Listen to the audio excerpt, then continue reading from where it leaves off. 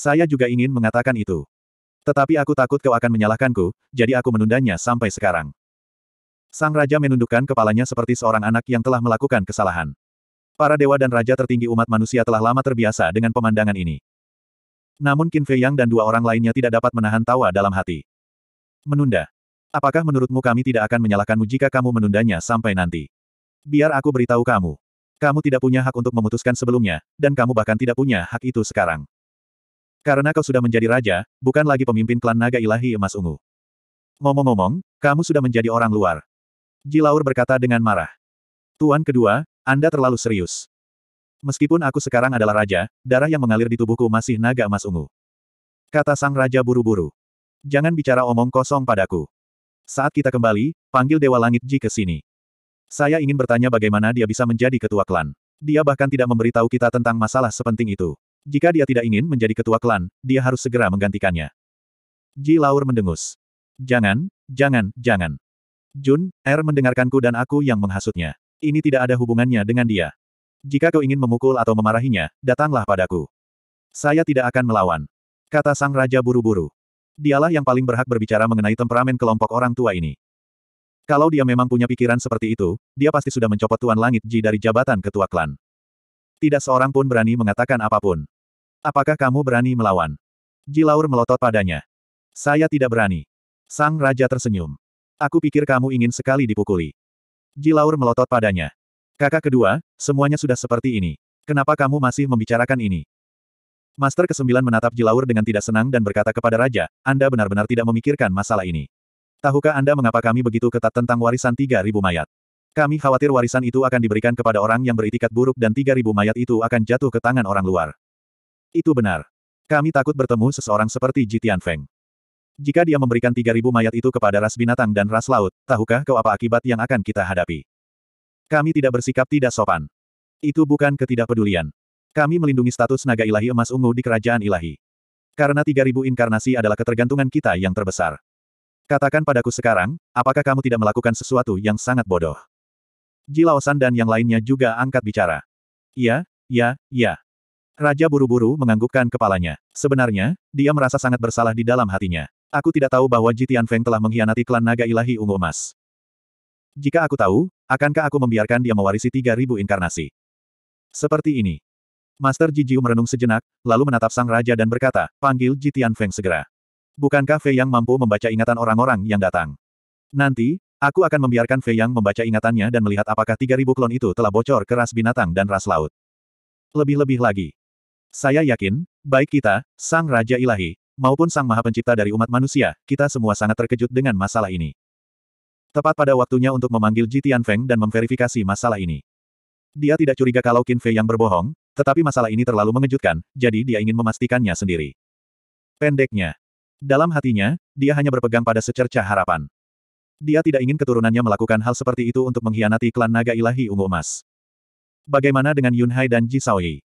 Sang Raja bertanya. Master Jijiu melambaikan tangannya dan berkata, karena mereka tidak ada sangkut pautnya dengan masalah ini, maka tidak perlu membuat mereka khawatir terlebih dahulu. Oke. Sang Raja mengangguk, segera bangkit dan membuka lorong ruang waktu. Tunggu sebentar. Qin Fei Yang menghentikan Raja dan bertanya, kamu belum membantu Jitian Feng membuka gerbang potensi, kan? Tidak. Raja menggelengkan kepalanya dan melirik Master Ji dan yang lainnya. Ada kepahitan yang tak terlukiskan di matanya. Qin Fei Yang tidak bisa menahan tawa. Tampaknya pil pembuka gerbang potensi ini benar-benar berada di tangan orang tua seperti Master Ji. Bahkan Raja tidak punya hak untuk menggunakannya. Apa yang sedang kamu lihat? Cepatlah dan pergilah. Guru Ji menghardik. Dia sama sekali tidak menunjukkan belas kasihan kepada cucunya ini. Oke oke oke. Sang Raja mengangguk dan memasuki lorong ruang waktu dengan wajah getir. Raja Dewa memandang Raja yang sedang dalam keadaan menyedihkan dan mentransmisikan suaranya sambil tersenyum. Apakah kamu tidak terbiasa melihat pemandangan ini? Tidak apa-apa. Saya hanya menganggapnya menarik. Raja, orang paling berkuasa di kerajaan ilahi, sedang diajari pelajaran seperti anak kecil. Qin Fei yang tertawa diam-diam. Apa ini? Biar ku beritahu, setelah dia menjadi raja, dia menjadi sedikit sombong. Akhirnya, dia membuat marah orang-orang tua itu dan langsung dibanting ke tanah dan dipukuli. Itulah yang kusebut memalukan. Sang Raja Dewa mulai bergosip. Benar-benar. Qin Fei Yang dan dua orang lainnya bertanya diam-diam, agak tidak percaya. Tentu saja. Supremasi manusia dan saya melihatnya dengan mata kepala kami sendiri. Sejak saat itu, di dalam hati kami, orang-orang tua itu adalah eksistensi yang tidak dapat kami ganggu. Kata Raja Dewa dalam hati. Supremasi manusia di samping juga setuju. Jadi, kita dianggap beruntung. Serigala bermata putih tercengang. Apa maksudmu? Raja ilahi dan supremasi manusia menatapnya dengan curiga. Ini. Saat kami datang ke sini, kami diam-diam mengambil 40 pohon teh milik Master ke-9 Ji. Serigala bermata putih tertawa datar. Pohon teh. Anda tidak sedang berbicara tentang pohon teh di gunung belakang, bukan?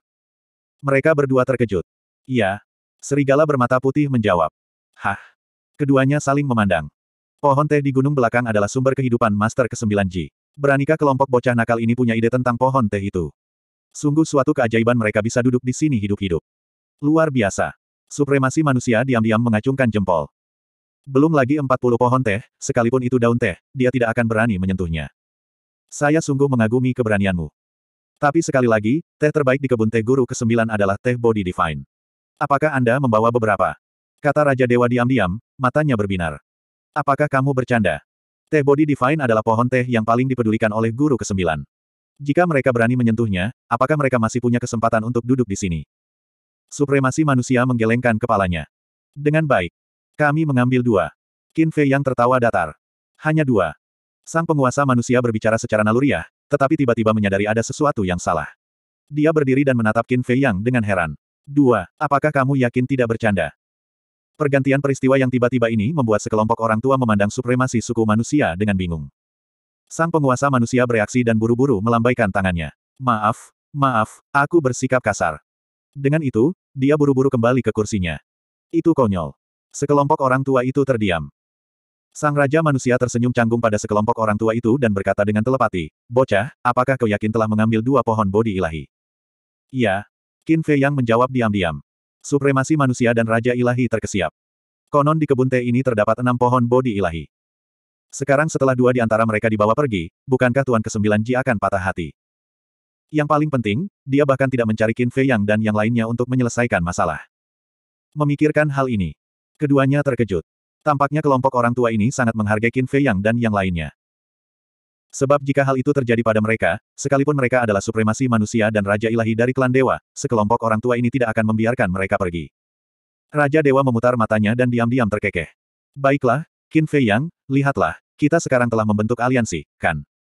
Qin Fei Yang sedikit terkejut. Dia menatap Raja Dewa dengan curiga dan berkata melalui telepati, Senior, jika Anda memiliki perintah, silakan beritahu saya secara langsung. Kamu benar-benar bijaksana. Raja Dewa tersenyum diam-diam dan berkata, teh Dewa Bodi ini, aku pernah mencicipinya sekali ketika aku datang ke sini sebagai tamu, dan itu adalah daun bodi saat itu. Sedangkan untuk buah bodi ini, aku belum pernah mencobanya, jadi kau lihat. Qin Fei yang mengerti dalam hatinya. Dia kemudian menatap manusia ras utama dan melihat sedikit keinginan di wajahnya. Qin Fei yang berpikir dalam hati, tidak masalah, ini masalah kecil. Aku akan meminta Huo Lian untuk menyiapkannya untuk kalian berdua. Keduanya tersenyum. Anak yang begitu bijaksana sungguh disenangi. Pada saat yang sama, teratai api menerima pesan telepati dan segera sibuk. Jilaushi tiba-tiba menatap Qin Fei Yang dan bertanya dengan penuh semangat, Nak, ku dengar kau telah menyatu dengan dua keinginan Dao Surgawi. Apakah kau sangat kuat sekarang? Langsung. Orang tua lainnya juga memandang Qin Fei Yang. Iya. Apakah aku kuat atau tidak? Aku jelas tidak bisa dibandingkan denganmu. Qin Fei Yang tertawa. Jangan menyanjungku. Jilaushi memutar matanya ke arahnya dan berkata sambil tersenyum, lalu kapan kita akan bertanding? Hah? Qin Fei yang tertegun dan berkata sambil tersenyum kecut, jika hanya kau saja, aku sangat bersedia untuk bertarung.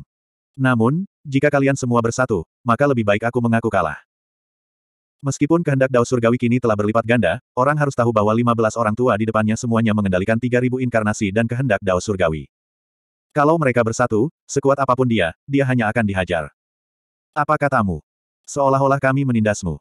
Kapan kamu bilang kita akan berjuang bersama? Ji Shi tidak senang. Hah? Petik 2. Qin Fei yang tertawa datar. Lalu seberapa kuatkah kemauan dao surgawimu sekarang? Ji Jiu bertanya. Qin Fei yang berkata, pada dasarnya, jumlahnya meningkat enam kali lipat. Astaga! Begitu kata-kata itu keluar, semua orang menarik napas dalam-dalam. Penggabungan dua keinginan dao surgawi, bukankah itu akan menjadi dua belas kali? Kemudian dengan hukum kehidupan dan kematian, jumlahnya menjadi 18 kali. Ini. 18 kali, dengan kata lain, Qin Fei yang sekarang mampu melawan 18 pembangkit tenaga listrik di alam yang sama sendirian. Ini terlalu kuat. Dengan perhitungan yang begitu cermat, Qin Fei yang tidak bisa menahan diri untuk tidak tercengang. Kalau begitu, bisakah dia juga menyetujui kelima belas orang tua di depannya sekarang? Pada saat ini, sebuah lorong ruang waktu muncul. Semua orang menoleh dan melihat sang raja berjalan keluar bersama seorang pemuda setengah baya berusia sekitar 30 tahun. Ji Tianfeng, Qin Fei Yang dan dua orang lainnya memandang orang ini. Orang ini mengenakan jubah ungu emas, dan fitur wajahnya sangat mirip dengan Ji Yunhai. Meskipun auranya tidak terlalu kuat, temperamennya secara keseluruhan tidak buruk. Qin Fei Yang. Long Qin. Raja Serigala bersayap emas. Yang tertinggi dari ras manusia. Raja Dewa. Dan orang-orang tua ini. Jitian Feng memasuki ruang rahasia dan menatap sekelompok orang yang duduk di depannya, dia langsung tertegun di tempat. 4142. Raja pergi mencarinya, namun dia tidak mengatakan ke mana dia pergi. Dengan kata lain, dia tidak tahu sebelumnya bahwa dia akan datang ke desa ini. Dia tidak tahu bahwa Raja Dewa, penguasa ras manusia, dan Qin Fei yang juga ada di sini. Hal ini langsung membuatnya menyadari bahwa ada sesuatu yang salah. Karena orang-orang yang berkumpul di sini semuanya adalah ahli super yang telah memahami kehendak Dao Surgawi. Tidak berlebihan jika dikatakan bahwa mereka dapat menutupi langit dengan satu tangan. Lebih penting lagi. Sebagai musuh kerajaan ilahi, Qin Fei Yang dan dua orang lainnya sebenarnya duduk di sini dengan tenang bersama Raja Ilahi, penguasa ras manusia, dan sekelompok lelaki tua. Mungkinkah ini suatu hal baik? Salam, Raja Ilahi, yang berdaulat. Salam, kakek buyut dan nenek buyut. Ji Tianfeng membungkuk karena takut dan gentar. Bos Ji menunjuk ke arah Qin Fei Yang dan dua orang lainnya dan bertanya, apakah kalian masih membutuhkan aku untuk memperkenalkan orang-orang ini kepada kalian? Tidak perlu, tidak perlu. Ji Tianfeng buru-buru melambaikan tangannya. Bos Ji berkata, kalau begitu katakan sendiri. Katakan apa? Ji Tianfeng menatap Bos Ji dengan curiga, berusaha semaksimal mungkin untuk tetap tenang. Kamu tidak tahu apa yang ingin kamu katakan. Amarah Ji Laoshi sedikit membara saat dia memukul meja dengan telapak tangannya dan berkata dengan marah. Jitian Feng gemetar dan berkata dengan panik, saya benar-benar tidak tahu harus berkata apa. Tolong beri saya pencerahan, kakek buyut. Kamu sudah hampir mati, tapi kamu masih saja keras kepala. Baiklah. Aku akan mengingatkanmu, ras binatang, klan laut. Ji Laoshi menatapnya dengan muram. Mendengar kata-kata ras binatang dan klan laut, tubuh Jitian Feng bergetar dan dia merasa gelisah. Mengapa dia menyebutkan ras binatang dan klan laut? Mungkinkah itu? Tiba-tiba, dia menggigil seakan-akan tersambar petir, dan pikirannya bergemuruh. Apakah kamu perlu aku ingatkan lagi? Kau hanya punya satu kesempatan. Katakan yang sebenarnya, dan aku akan mempertimbangkan untuk mengampuni nyawa anjingmu. Ji Laoshi berkata dengan suara yang dalam. Pikiran Jitian Feng kacau balau. Apa yang sedang terjadi? Mengapa orang tua ini mengetahui rahasia-rahasia ini? Mungkinkah ras binatang dan klan laut telah mengkhianatinya? Tapi itu tidak mungkin. Ras binatang dan klan laut tidak melakukan hal baik apa pun untuk diri mereka sendiri. Tunggu. Tiba-tiba, dia melirik Qin Fei Yang dan dua orang lainnya dari sudut matanya. Mungkinkah ada hubungannya dengan ketiga orang ini? Memikirkan hal ini, dia menatap kelompok tetua dan berkata dengan marah, kakek buyut, nenek buyut, jangan dengarkan kata-kata fitnah mereka. Aku tidak berkolusi dengan ras laut atau ras binatang. Kalian harus percaya padaku. Namun, mendengar hal itu, rombongan tetua pun menjadi murka. Sang Raja Dewa pun murka. Jitian Feng, kamu benar-benar bodoh. Apakah orang tua itu mengatakan bahwa kau bersekongkol dengan ras laut dan ras binatang? Bukankah ini sama saja dengan mengaku tanpa ditekan? Sang Raja Dewa menggelengkan kepalanya. Saat Jitian Feng mendengar ini, dia akhirnya bereaksi dan langsung tertegun. Bagaimana menjadi seperti ini? Awalnya, lelaki tua ini masih memiliki secerca harapan. Namun, sekarang, tampaknya lelaki tua ini terlalu naif. Bos Ji mendesah. Kakek buyut, biar aku jelaskan. Tubuh Jitian Feng bergetar saat dia berteriak tergesa-gesa. Baiklah. Bos Ji mengangguk dan menarik napas dalam-dalam. Aku akan memberimu kesempatan untuk menjelaskannya. Ras laut dan ras binatanglah yang memaksaku melakukan ini. Mereka bilang kalau saya tidak mau bekerja sama, mereka akan membunuh istri dan anak-anak saya. Saya juga dipaksa. Kakek buyut, kau harus percaya padaku. Jitian Feng berlutut di tanah dan memohon. Memaksa kamu. Haha. Begitu kata-kata ini keluar, Bos Ji sangat marah hingga dia tertawa. Para tetua lainnya dan sang raja pun memperlihatkan ekspresi kecewa. Apakah aku mengatakan sesuatu yang salah lagi? Jitian Feng menjadi bingung. Kamu memang mengatakan sesuatu yang salah. Dengan status ras naga ilahi emas ungu di kerajaan ilahi, bahkan jika ras binatang dan ras laut memiliki penguasa di belakang mereka, apakah mereka berani mengancammu? Lagi pula, kamu adalah keponakan raja. Mereka mengancammu, apakah mereka tidak takut kalau raja akan membalas dendam kepada mereka? Jadi, ras binatang dan ras binatang tidak sebodoh itu. Longkin menatap Jitian Feng dan berkata dengan nada meremehkan. Mendengar ini, wajah Ji Tianfeng menjadi pucat dan seluruh tubuhnya jatuh ke tanah dengan lemah. Dia biasanya orang yang pintar, mengapa dia terus-terusan membuat kesalahan? Bodoh sekali. Sebenarnya, hal itu disebabkan oleh kegugupan. Karena ini terlalu mendadak, dia terkejut. Jadi ketika menghadapi masalah-masalah ini, wajar saja jika dia akan membuat satu kesalahan kecil demi satu kesalahan kecil. Sekarang tidak ada lagi yang perlu dikatakan. Bos Ji menghela napas, matanya penuh kekecewaan. Dia menoleh ke Qin Fei Yang dan berkata, baca ingatannya. Oke. Qin Fei Yang mengangguk. Jejak boneka muncul. Ji Tianfeng segera gemetar dan buru-buru bangkit. Sekelompok orang bergegas menuju ruang rahasia, bersiap untuk melarikan diri. Huff. Raja mendengus, mencengkeram pakaian Ji Tianfeng, dan langsung menariknya kembali. Kemudian, dia menamparkan perut bagian bawah Ji Tianfeng, menghancurkan lautan energinya di tempat. Ah! Setelah berteriak, Ji Tianfeng meraung, kau tidak bisa melakukan ini padaku, kau sudah sangat tidak adil terhadap garis keturunan kami, tidak bisakah kau membiarkan kami melawan? Tidak adil. Anda harus merasakan hati nurani Anda ketika mengatakan ini. Baik ayahmu, dirimu, maupun putramu Ji Saoi, aku tidak pernah pelit dalam hal sumber daya. Sebenarnya aku memperlakukanmu lebih baik daripada Juner dan adiknya. Kata raja dengan suara yang dalam. Bagus. Apakah baik jika memberi sedikit bantuan? Apa hal yang paling penting bagi klan naga ilahi emas ungu? Itulah 3000 inkarnasi. Namun di antara kita tiga generasi, siapa yang telah memperoleh 3000 inkarnasi? Inikah yang Anda maksud dengan keadilan? Ji Tianfeng meraung. Karena dia sudah terbongkar, tidak mungkin dia bisa selamat. Tentu saja, dia tidak begitu takut pada raja. Jangan gunakan 3000 inkarnasi sebagai alasan. Menurut pendapat orang tua ini, kamu dilahirkan untuk memberontak. Ji Laoshi yang marah menamparkan Ji Tianfeng. Ji Tianfeng berteriak lagi dan menghantam dinding ruang rahasia, darah menyembur keluar. Apa hakmu untuk mengatakan bahwa aku dilahirkan untuk memberontak? Saya menolak menerima ini. Bahkan jika aku mengkhianati klan naga ilahi emas ungu, itu juga dipaksakan oleh kalian, orang-orang tua bangka. Ji Tianfeng histeris. Lancang. Sang Raja meraung. Apalagi yang tidak berani saya katakan sekarang. Ji Tianfeng mencibir dingin dan menatap sekelompok lelaki tua itu sambil berkata, kalian semua egois. Sama halnya, mereka semua adalah saudara garis keturunan langsung kalian, tetapi perlakuannya sangat berbeda. Ambil saja posisi kepala keluarga klan naga ilahi ungu emas sebagai contoh. Setelah paman tertua turun tahta, bukankah ayahku seharusnya mewarisinya? Mengapa sekarang giliran Dewa Langit Ji? Atas dasar apa? Kamu tidak tahu. Di antara kalian bertiga, dari segi bakat, kekuatan, dan kemampuan, siapakah yang dapat menandingi Dewa Langit Ji? Ji Laur mendengus dingin.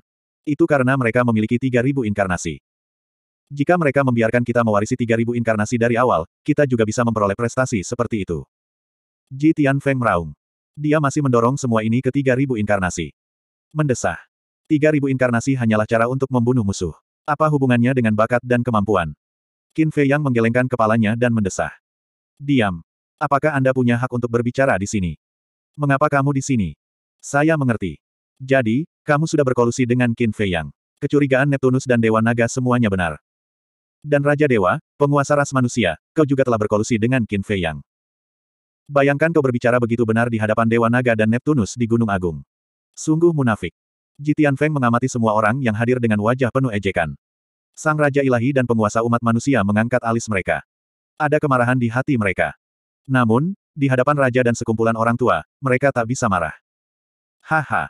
Betapa konyolnya. Penguasa tiga ras utama sebenarnya berkolusi dengan Qin Fei Yang. Kamu mengkhianati kerajaan ilahi. Dan aku, bahkan jika aku bekerja sama dengan ras laut dan ras binatang, pada akhirnya, aku masih setia kepada kerajaan ilahi dan penguasa. Dibandingkan dengan pengkhianatanmu, apa ini? Jadi, apa hakmu untuk memberiku pelajaran? Tunggu saja, yang berdaulat tidak akan membiarkanmu pergi. Cepat atau lambat, kau akan dihancurkan. Ji Tianfeng tertawa terbahak-bahak. Bajingan. Benar-benar tidak masuk akal.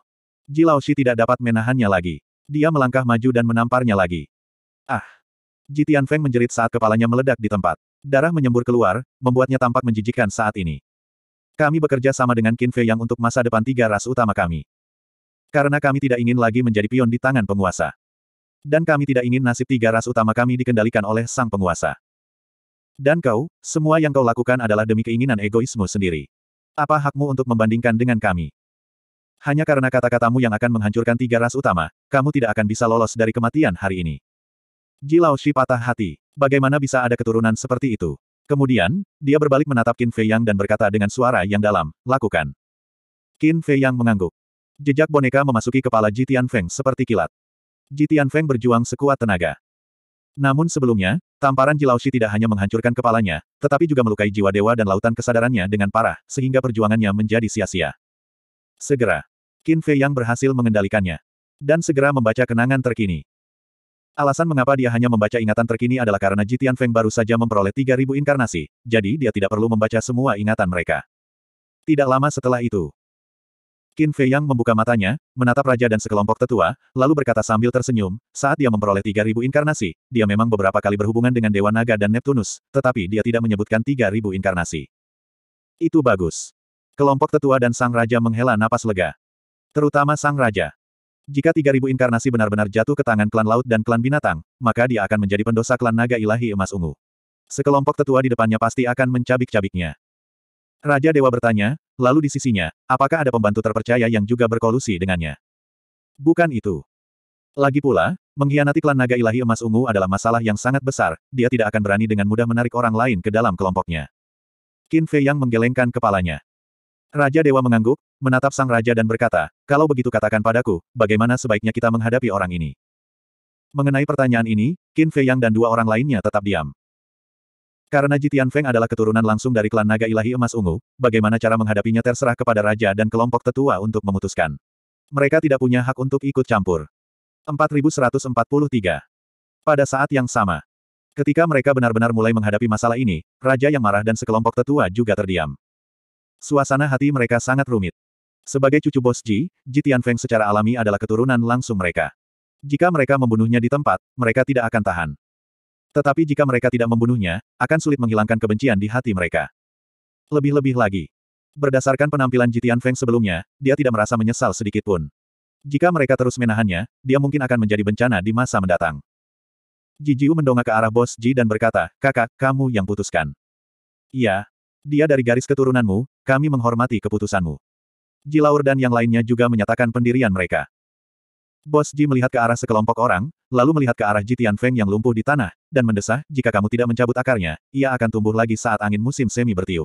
Sekarang adalah saat yang kritis, tidak boleh ada kesalahan sekecil apa pun. Mari kita bunuh dia secara langsung untuk menghindari masalah di masa mendatang. Lalu, jika saatnya tiba, bagaimana kita akan menjelaskannya kepada Yun Hai? Sang Raja bertanya. Katakan padaku yang sebenarnya. Jika Ji Yunhai masih tega melindungi klan naga ilahi emas ungu kita, dia pasti akan setuju dengan pendekatan kita. Kata bos Ji. Baiklah. Sang Raja mengangguk. Mata Qin Fei yang berbinar, menatap Raja dan sekelompok tetua, lalu berkata, karena kita sudah memutuskan untuk membunuhnya, maka aku punya saran. Saran apa? Sang Raja dan yang lainnya menatapnya dengan curiga. Karena dia tahu akan mati juga, kenapa kita tidak biarkan dia memainkan perannya semaksimal mungkin dan menebus kesalahannya serta memberikan kontribusi terakhirnya kepada klan naga ilahi emas ungu. Dan saranku juga bisa menutupi pengkhianatannya terhadap klan naga ilahi emas ungu. Dengan cara ini, kita tidak hanya bisa melindungi reputasinya, tetapi kita juga bisa menghentikan kepanikan klan naga ilahi emas ungu. Kata Qin Fei Yang. Panik. Sang Raja tercengang. Dari mana datangnya ini? Ya, panik. Pikirkanlah, jika berita pengkhianatan Jitian Feng menyebar di klan, bagaimana reaksi para anggota klan? Pasti akan terjadi kepanikan. Pada saat itu, mereka semua akan membiarkan imajinasi mereka menjadi liar. Apakah akan ada mata-mata lain yang bersembunyi?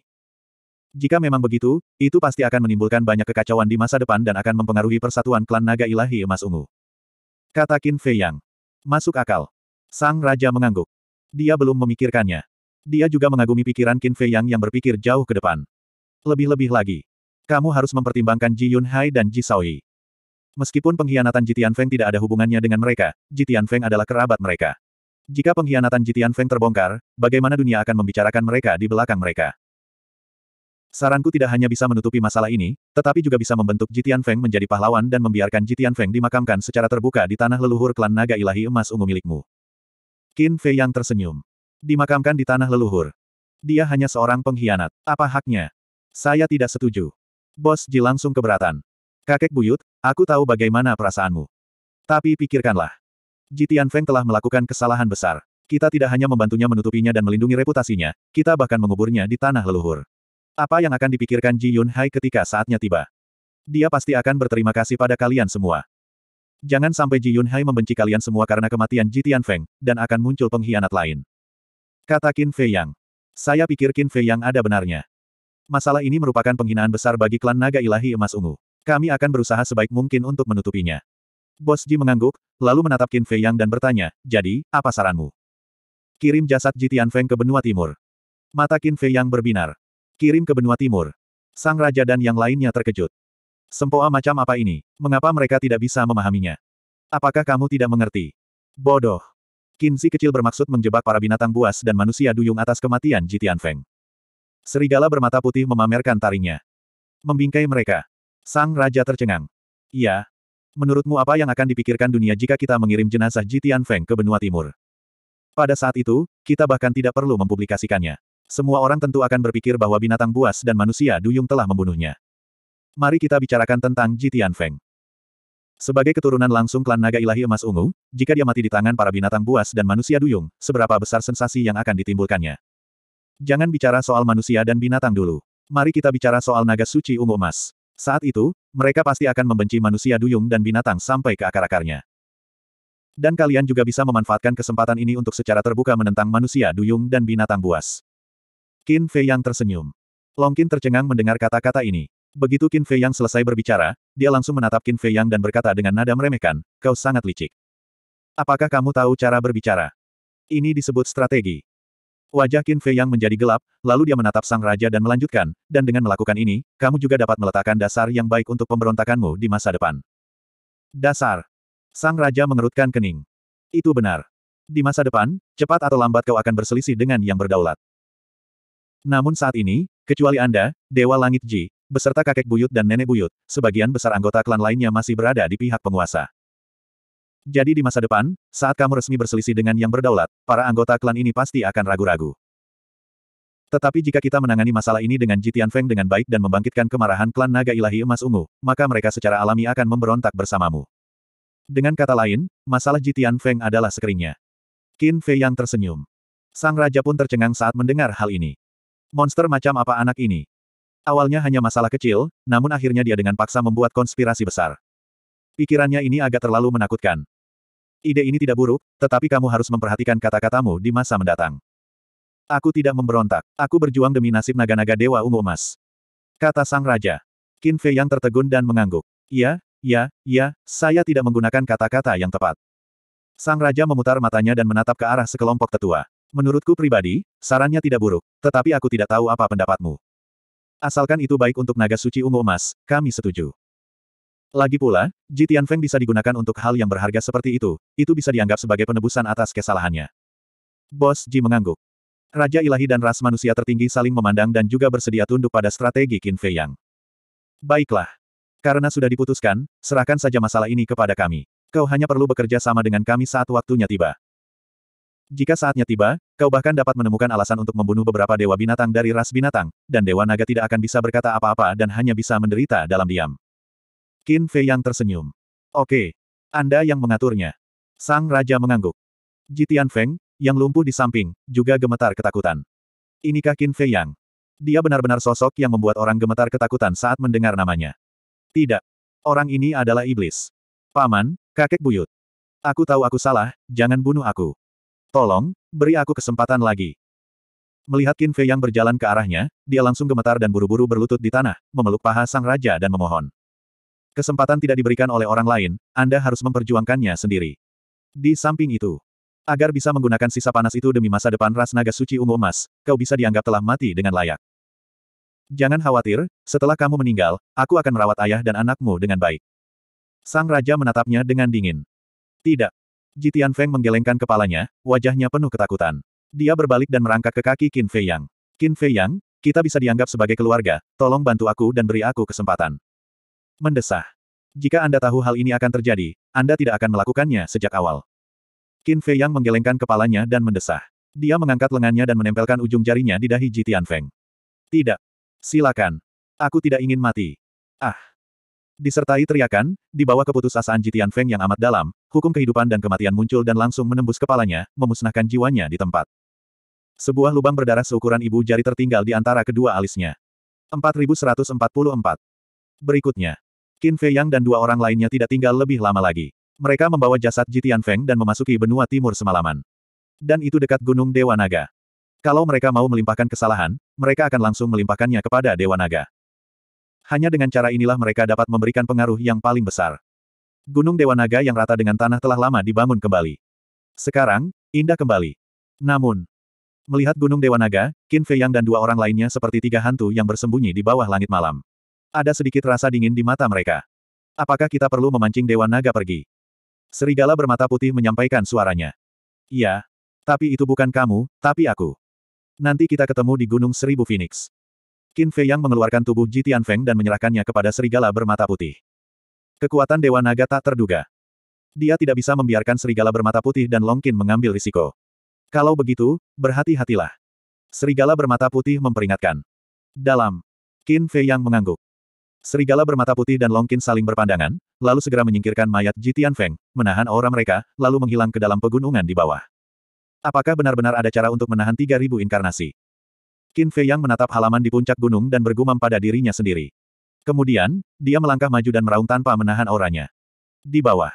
Puncak-puncak raksasa itu tiba-tiba runtuh dan gemuruhnya memekakkan telinga. Hah? Di puncak gunung. Di loteng. Dewa Naga sedang beristirahat dengan mata tertutup. Mendengar gerakan di luar, dia segera bangkit dan melangkah maju. Dia muncul di luar halaman dan mendongak. Ketika dia melihat Qin Fei Yang di kejauhan, matanya tiba-tiba dipenuhi dengan niat membunuh. Beraninya kau datang ke Gunung Dewa Nagaku untuk membuat masalah. Ledakan. Didampingi aura yang kuat, Dewa Naga melangkah maju dan mendarat di depan Qin Fei Yang. Menyebabkan masalah. Kamu meremehkanku, Qin Fei Yang. Kau pikir aku badut. Biarkan aku katakan padamu, aku di sini untuk membunuhmu. Mata Qin Fei Yang berkilat penuh niat membunuh. Misteri utama dari semua hukum terkuat langsung aktif. Kekuatan ilahi penghancur surga dan penghancur bumi mengguncang dunia. Anda. Dewa Naga mencibir. Satu demi satu, ultimate intens muncul entah dari mana. Sebenarnya ada total delapan kedalaman utama hukum tertinggi. Hukum kehancuran, hukum melahap, hukum ketiadaan, hukum ruang waktu, hukum waktu, hukum karma, hukum kematian, dan yang terakhir adalah hukum cahaya dan kegelapan. Benar-benar dahsyat. Qin Fei yang merasakan hawa dingin di hatinya. Delapan kedalaman utama hukum tertinggi bahkan lebih kuat dari tiga raja. Ini karena sang raja dan dua orang lainnya hanya menguasai tujuh kedalaman utama dari hukum utama. Ledakan. Diiringi dengan meletusnya kehendak Dao Surgawi, energi hukum keduanya bertabrakan. Akan tetapi, ultimate profound milik Qin Fei yang tidak mengaktifkan kehendak Dao Surgawi. Itu karena medan perang tidak mungkin ada di sini. Jika tidak, serigala bermata putih dan Long Qin tidak akan mempunyai kesempatan. Oleh karena itu, Qin Fei yang bukan tandingannya. Dia memuntahkan seteguk darah naga ungu emas dan wajahnya menjadi sedikit pucat. Suara mendesing. Langsung. Dia berbalik dengan tegas, mengaktifkan The Moment of Time, dan terbang ke langit. Kamu ingin pergi setelah datang ke sini. Kamu terlalu naif. Dewa Naga juga mengaktifkan momen waktu dan mengejarnya dengan kecepatan kilat. Tetapi dia tidak menyadarinya. Tepat setelah dia pergi, dua sosok hitam menyelinap ke Gunung Dewa Naga. Aura apakah itu? Sangat kuat. Dia adalah Qin Fei Yang. Hanya ada tiga dewa binatang yang tersisa di klan dewa, klan manusia, dan klan naga ilahi ungu emas. Tujuh dewa binatang lainnya berada di benua timur. Pada saat ini, Merasakan fluktuasi pertempuran yang meletus dari Qin Fei Yang dan Dewa Naga, mereka awalnya sangat terkejut dan curiga. Setelah mengidentifikasi aura Qin Fei Yang, mereka segera melambung ke langit, membuka terowongan ruang waktu, dan maju untuk mengepungnya. Dalam waktu singkat, dua dewa binatang muncul di depannya. Sarang kedua dewa binatang ini kebetulan berada di arah Qin Fei Yang melarikan diri. Jadi, mereka mencegatnya dari sisi ini. Qin Fei Yang mengangkat alisnya, berbalik ke udara, dan melarikan diri ke arah lain. Dewa Naga dan kedua Dewa Binatang saling berpandangan dan mengubah arah pada saat yang sama, terus mengejar. Hanya dalam waktu singkat. Di depan, dua Dewa Binatang lagi berlari untuk mencegatnya. Blood Kirin dan Ice Phoenix, ganas dan kuat. Berlari. Dewa Naga tertawa. Kau ingin menghentikanku hanya dengan dua ini. Qin Fei yang meremehkan dan mengaktifkan enam hukum pamungkas. Tidak mengaktifkan 3000 klon. Kalau begitu, bukankah kau sedang mencari kematian? Blood Kirin dan Ice Phoenix mencibir dan mengaktifkan enam hukum pamungkas, dan kehendak Dao Surgawi pun meletus. Ketidaktahuan itu mengerikan. Qin Fei Yang menggelengkan kepalanya dan mendesah. Karena mereka sudah mengantarkan sendiri ke rumahnya, mengapa dia harus bersikap sopan? Dengan melumpuhkan kedua dewa binatang ini secara langsung, itu setara dengan memperoleh 12 kedalaman tertinggi dari hukum tertinggi.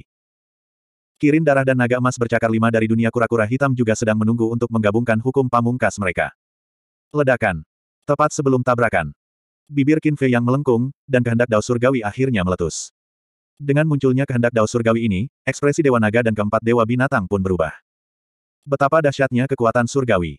Apakah ini masih kehendak Dao Surgawi? Rasanya seolah-olah mereka sedang menghadapi Dao Surgawi yang nyata. Ledakan. Dengan ledakan keras, dua belas hukum pamungkas Blood Kirin dan Ice Phoenix tidak mampu melawan dan hancur di tempat. Kekuatan ilahi meraung. Kehampaan itu runtuh, dan bumi pun amblas. Di pegunungan, darah binatang buas yang tak terhitung jumlahnya berceceran di mana-mana. Binatang-binatang buas itu semuanya adalah binatang buas, jadi Qin Fei yang tentu saja tidak peduli. Namun Dewa Naga dan keempat Dewa Binatang patah hati. Kalian seharusnya mengkhawatirkan diri kalian sendiri terlebih dahulu. Qin Fei yang tersenyum dingin. Enam hukum utama terus menyerang Blood Kirin dan Ice Phoenix dengan kekuatan mengerikan. Menghindari. Dewa Naga berteriak. Kehendak Dao Surgawi ini telah jauh melampaui kehendak Dao Surgawi yang mereka miliki. Bahkan Dewa Binatang pun hanya bisa dibunuh dalam sekejap. Blood Kirin dan Ice Phoenix bergetar dan segera berbalik untuk melarikan diri ke dua arah, punggung mereka basah oleh keringat dingin. Bagaimana bisa ada keinginan Dao Surgawi yang begitu mengerikan? Mereka belum pernah melihatnya sebelumnya. Ledakan. Meskipun mereka berhasil melarikan diri dengan cepat, mereka masih terpengaruh oleh gempa susulan dari enam hukum pamungkas. Tubuh mereka yang seperti gunung hancur berkeping-keping di tempat, dan darah berceceran di mana-mana. Adegan ini membuat dua dewa binatang lainnya di samping Dewa Naga menggigil ketakutan dan gentar. Hanya sisa tenaganya saja yang cukup untuk menghancurkan daging dewa binatang menjadi berkeping-keping. Kalau mereka dibunuh langsung, bukankah mereka akan mati di tempat? Wajah Dewa Naga menjadi sedikit gelap. Kekuatan Qin Fei yang jauh melampaui imajinasinya. Pada saat yang sama, Blood Kirin dan Ice Phoenix mengira mereka telah melarikan diri. Tapi tiba-tiba, mereka merasakan aura bahaya yang kuat datang dari belakang mereka. Ketika mereka menoleh untuk melihat, mereka langsung ketakutan. Mereka melihat bahwa di kekosongan di belakang mereka, sebenarnya ada seseorang yang tampak persis seperti Qin Fei Yang, dan dia sedang menyerang mereka. 3000 klon. Tidak perlu berpikir untuk tahu bahwa itu adalah 3000 klon. Dewa Naga, selamatkan kami. Tubuh mereka hancur berkeping-keping. Baik dalam kecepatan maupun kekuatan, mereka tidak dapat lagi mengerahkan kemampuan terbaik mereka. Mereka berlari dengan panik untuk menyelamatkan diri sambil meminta bantuan. Tidak seorang pun dapat menyelamatkanmu. Kedua klon itu mencibir. Pada saat yang sama, Qin Fei yang berhenti di kehampaan dan berbalik menghadap Dewa Naga dan dua Dewa Binatang lainnya. Ini untuk mencegah mereka menyelamatkan Blood Kirin dan Ice Phoenix. Kalian berdua pergilah menyelamatkan mereka. Dewa Naga berkata kepada dua Dewa Binatang dengan muram. Dia menatap Qin Fei Yang dan berkata, kalian sedang mencari kematian. Ledakan. Aura misterius tiba-tiba meletus. Qin Fei Yang hendak mencegat dua Dewa Binatang, tetapi saat aura ini meletus, dia tiba-tiba merasakan bahaya yang belum pernah terjadi sebelumnya. Suara mendesing. Dia tidak berani ragu dan mengaktifkan semua 3000 klon. Melihat ini, kedua dewa binatang yang hendak menyelamatkan Blood Kirin dan Ice Phoenix segera mundur. Sebenarnya, bahkan jika mereka berhasil melewati Qin Fei Yang dan berlari menyelamatkan mereka, sudah terlambat. Karena kedua klon itu sudah berhasil mengejar Blood Kirin dan Ice Phoenix. Ah! Setelah terdengar teriakan kesakitan, daging kedua dewa binatang hancur berkeping-keping. Jiwa mereka terluka parah. Kedua klon itu menyerang dan langsung menyegel jiwa mereka untuk mencegah mereka menghancurkan diri sendiri. Kamu benar-benar tidak tahu apa itu kematian. Adegan ini membuat Dewa Naga sangat marah. Kalian berdua, hentikan dia. Qin Fei yang tidak ragu-ragu dan menyerahkan kalimat ini kepada 2998 klon di belakangnya. Kemudian dia berbalik dan melesat menembus langit seperti kilat untuk bergabung dengan dua klon lainnya. Mati di sini demi raja ini. Dewa Naga meraung dengan marah. Gumpalan kekuatan misterius melonjak keluar dan langsung berubah menjadi pedang sepanjang tiga kaki. Pedang itu berwarna-warni dan berkilau seperti berlian berwarna-warni. Ini, Merasakan aura ini, Qin Fei yang menoleh untuk melihat, dan ekspresinya berubah.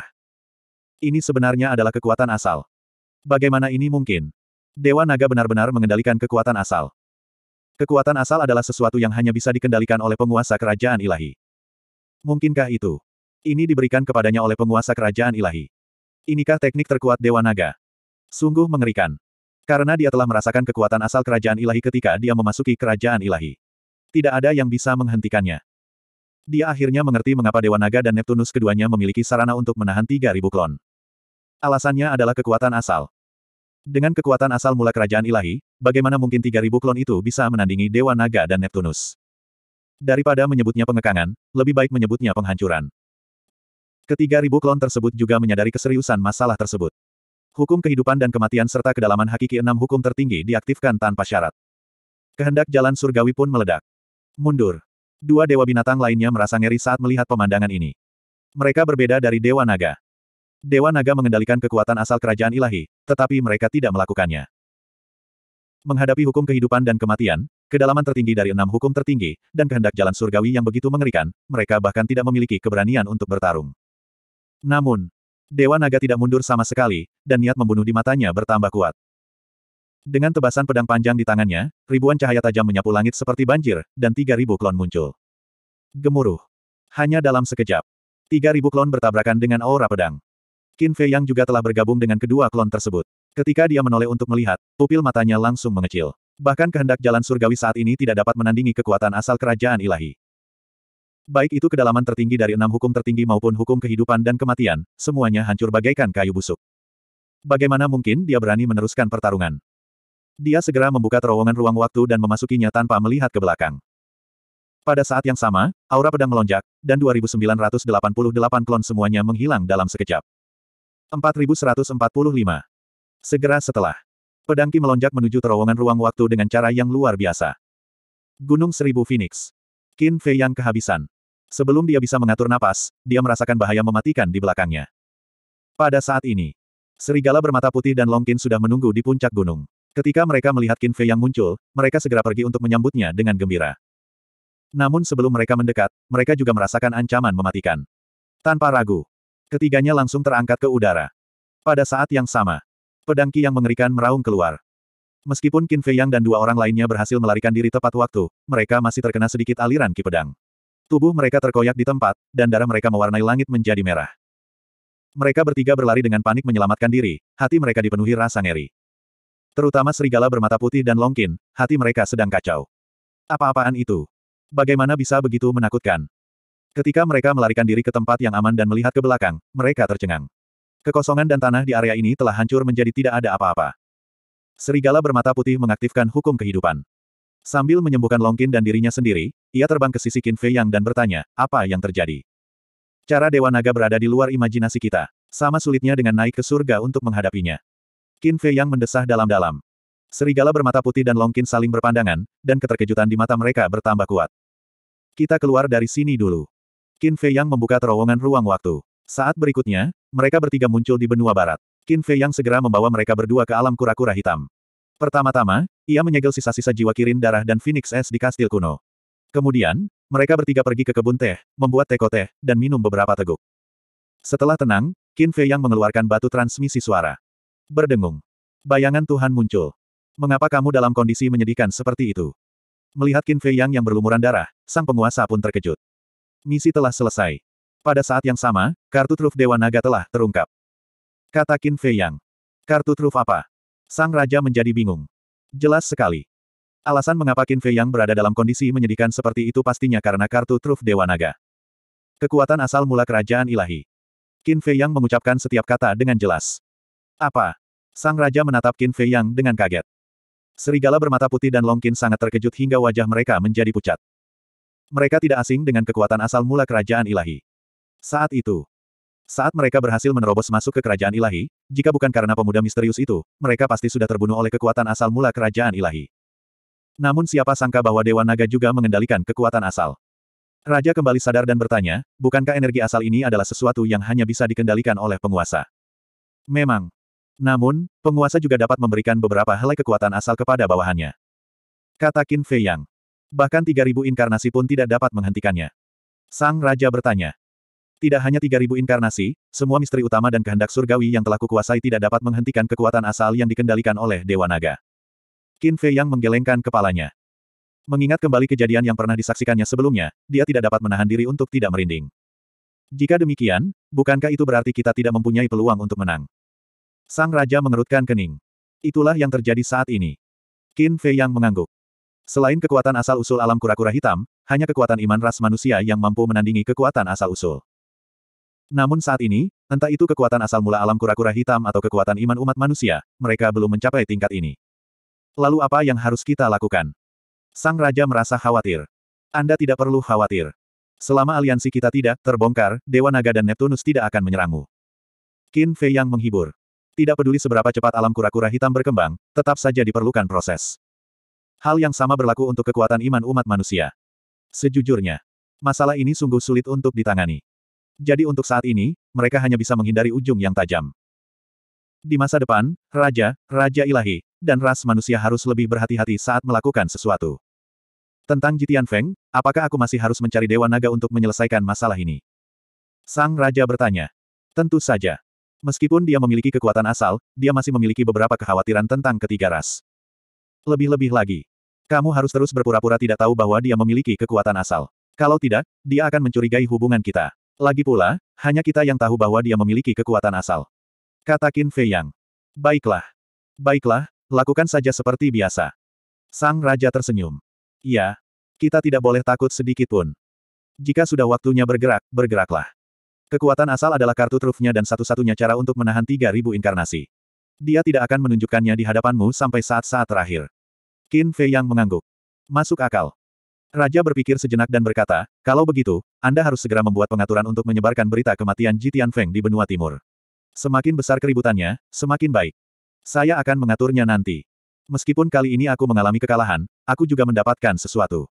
Aku telah menangkap Blood Kirin dan Ice Phoenix. Qin Fei yang tersenyum sedikit. Menangkap mereka. Sepertinya tidak ada artinya karena jiwa ilahi mereka ada di benua timur. Sang Raja mengerutkan kening. Aku tahu ini. Namun bagi saya, mereka sangat berguna. Qin Fei yang tersenyum. Apa gunanya? Sang Raja merasa penasaran. Aku tidak akan mengungkapkannya untuk saat ini. Jika waktunya tepat, aku akan memberimu kejutan. Qin Fei yang tersenyum misterius. Dasar bocah nakal, kau masih saja membuatku penasaran. Sang Raja tertawa. Qin Fei yang tertawa datar. Raja bertanya, apa yang harus kita lakukan terhadap Utua dan mata-mata umat manusia serta protos? Mereka harus disingkirkan, tetapi kita tidak bisa terburu-buru. Kalau tidak, Dewa Naga dan Neptunus akan curiga. Pokoknya, sekarang setelah kita tahu mereka mata-mata, kita hanya perlu berhati-hati di masa mendatang. Itu tidak akan memengaruhi situasi secara keseluruhan. Dan di masa mendatang, mereka mungkin sangat membantu kita. Misalnya, kita bisa memberi mereka informasi palsu. Qin Fei yang memamerkan giginya. Raja tercengang. Ia menggelengkan kepala dan tersenyum. Longkin benar, kau rubah kecil yang berbahaya. Lihat. Bahkan Raja pun mengatakan demikian. Apalagi yang harus kau bantah? Longkin menatap Qin Fei Yang dengan jijik. Qin Fei Yang menatap Raja dengan tak berdaya dan berkata, kalau begitu, cukup untuk saat ini. Kalian bertindak sesuai dengan keadaan dan sampaikan kepada Raja Ilahi dan supremasi umat manusia. Oke. Sang Raja mengangguk. Setelah percakapan itu, Qin Fei Yang menyingkirkan batu transmisi dan berbalik untuk melihat serigala bermata putih.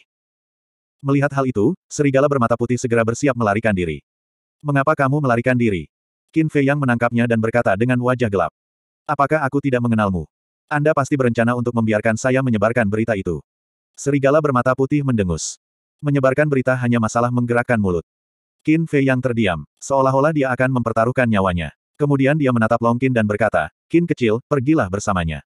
Jika dia tidak mendengarkan, kamu bisa menghajarnya. Pada awalnya, Longkin sangat enggan seperti serigala bermata putih, tetapi ketika dia mendengar bagian terakhir, dia segera bersemangat dan bertanya, apakah kamu yakin aku bisa mengalahkannya? Iya. Qin Fei yang mengangguk. Longkin segera menatap serigala bermata putih dengan niat jahat. Sialan kau. Kakak macam apa kamu? Aku akan memutuskan hubungan denganmu. Segera, sekarang juga. Serigala bermata putih berteriak pada Qin Fei Yang. Qin Fei Yang mengabaikannya dan melambaikan tangannya, mengirim mereka berdua keluar dari alam kura-kura hitam. Kemudian dia merenung sejenak, melangkah keluar dan mendarat di ruang kultivasi kastil kuno. Sky Peng, Dewa Laut Bloodwing, Blood Kirin, dan Ice Phoenix semuanya disegel di ruang kultivasi ini. Melihat Qin Fei yang datang, tiga Dewa Binatang dan Dewa Laut Bloodwing langsung menatap Qin Fei yang dengan penuh kebencian. Jangan menatapku seperti itu. Kalian sendirilah yang harus disalahkan karena terlalu melebih-lebihkan diri kalian sendiri. Qin Fei yang tersenyum tipis. Lalu apa maksudmu? Apakah kau akan terus menekan kami seperti ini? Kata Dewa Laut Bloodwing dengan marah. Pencerahan tertinggi Skypeng dan Dewa Laut Bloodwing belum dilucuti. Karena Long Chen sudah mengatakan untuk tidak mengganggunya untuk sementara waktu. Namun, Qin Fei yang sedikit khawatir bahwa penundaan yang lama dapat menimbulkan masalah, jadi dia ragu-ragu saat ini. Haruskah dia pergi dan mencari Long Chen? Lupakan saja, kita tunggu saja dia keluar. Seharusnya tidak ada perubahan jika kita dipenjara di sini. Qin Fei yang bergumam dan menatap ketiga Dewa Binatang dan Dewa Laut Bloodwing. Dia tersenyum dan berkata, jika kau mau, aku akan dengan senang hati memenjarakanmu di sini selamanya. Siapa sih yang mau?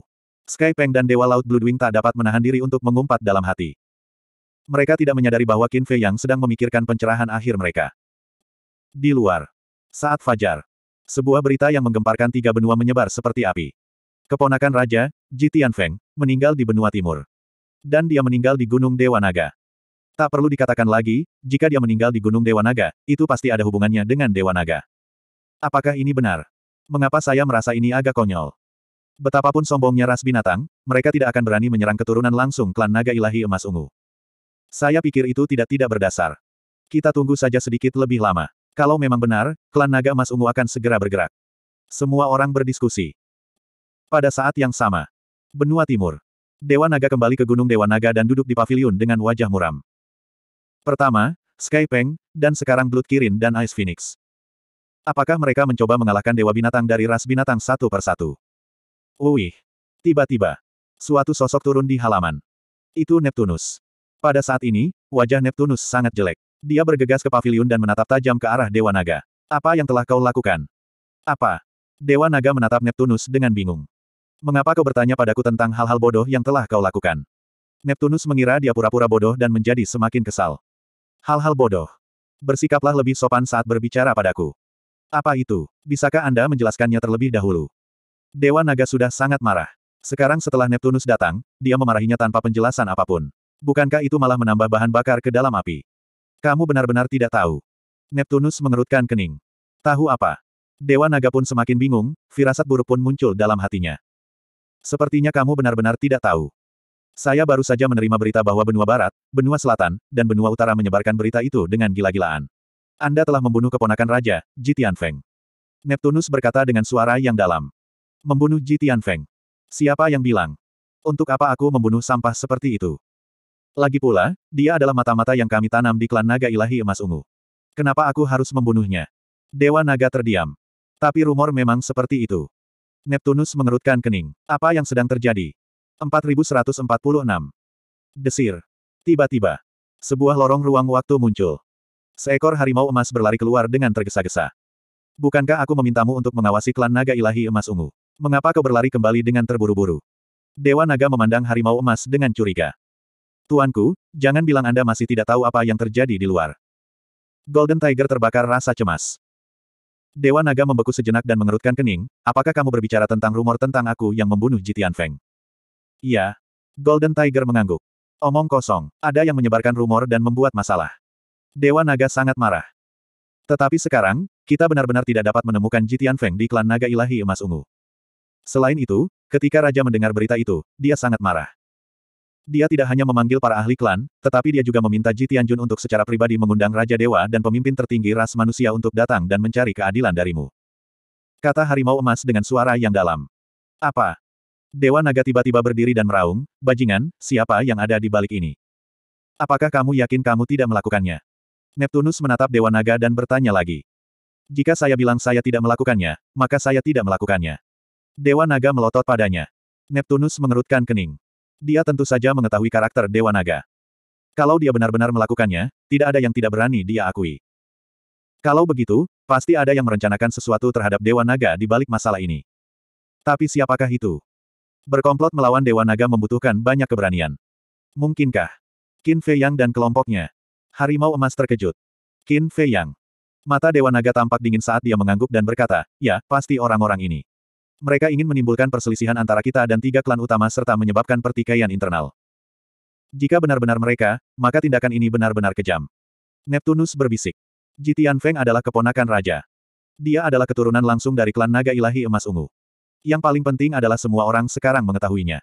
Dalam situasi seperti itu, akankah raja membiarkannya begitu saja? Tentu saja tidak. Jika saja Raja tidak datang untuk mencari keadilan dari mereka, dunia akan mengkritiknya di belakangnya, dengan mengatakan bahwa dia bahkan tidak berani membelanya ketika keponakannya sendiri terbunuh. Dia sudah bisa meramalkan bahwa ketika Raja membawa rakyatnya ke benua timur, itu akan menyebabkan badai yang dahsyat. Tuan, mengapa Anda tidak pergi dan bersembunyi sebentar? Si harimau emas agak khawatir. Apa katamu? Kau ingin aku bersembunyi? Aku tidak melakukannya. Mengapa aku harus bersembunyi dari mereka? Dewa Naga meraung. Tetapi, Sang harimau emas ragu-ragu. Dewa naga jelas sedang marah, jadi dia tidak berani mengatakan apa-apa lagi. Bersembunyi memang bukan solusi. Namun, Anda tidak perlu terlalu khawatir. Karena hal semacam ini memerlukan bukti terlebih dahulu.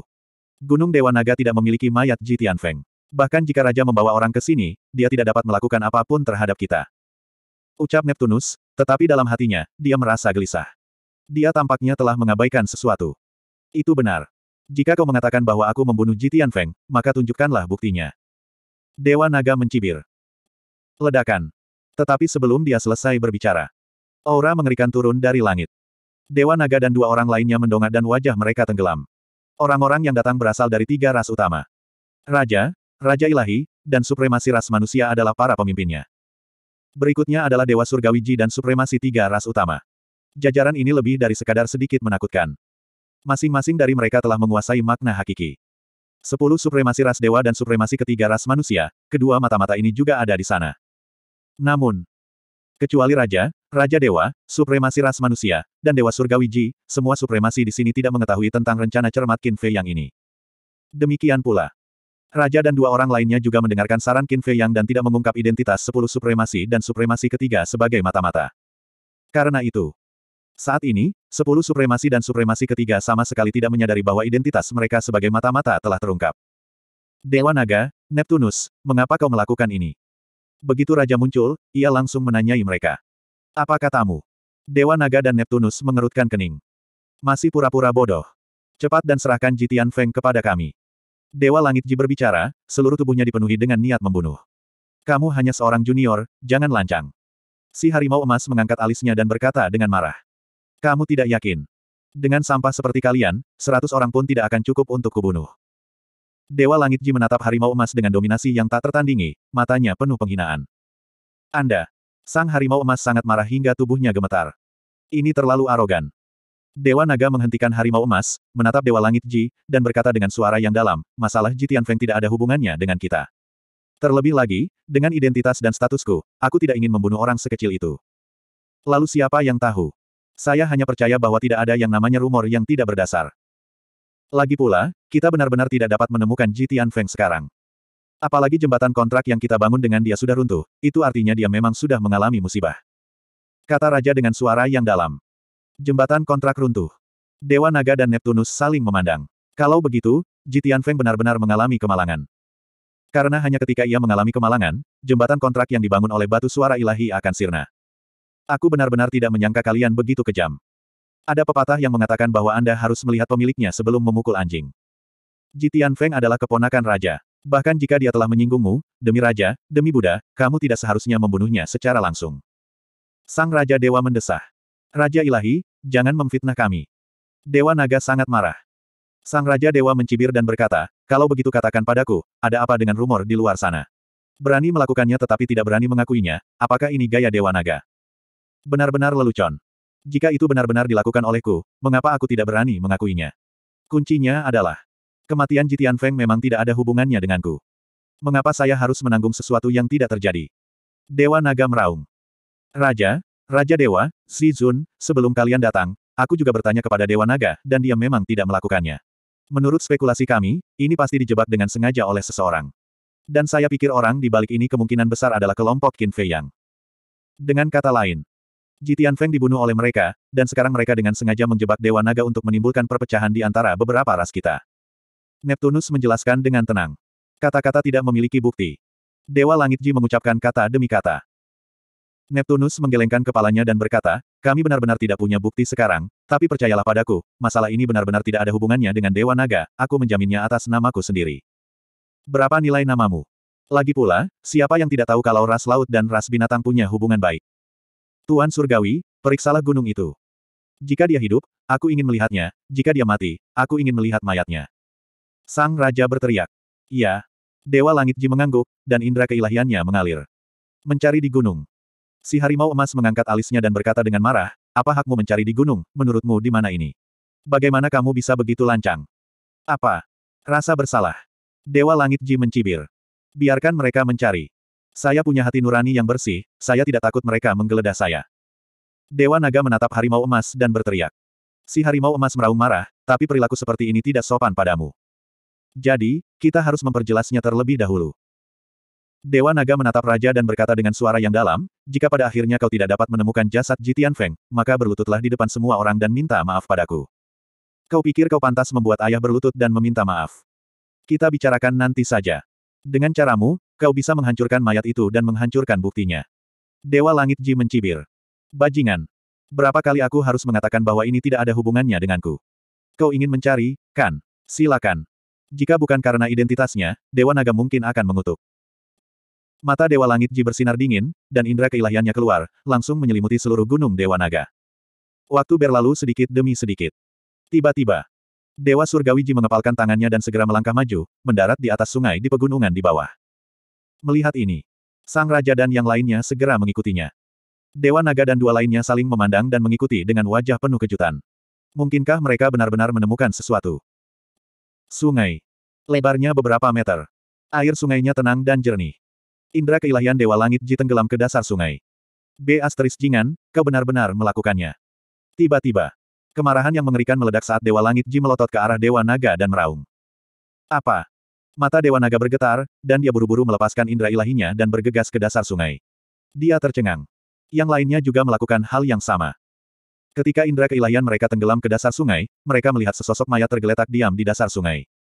Kalau bukan Dewa Langit Ji, siapa lagi? Mustahil. Dewa Naga menggelengkan kepalanya.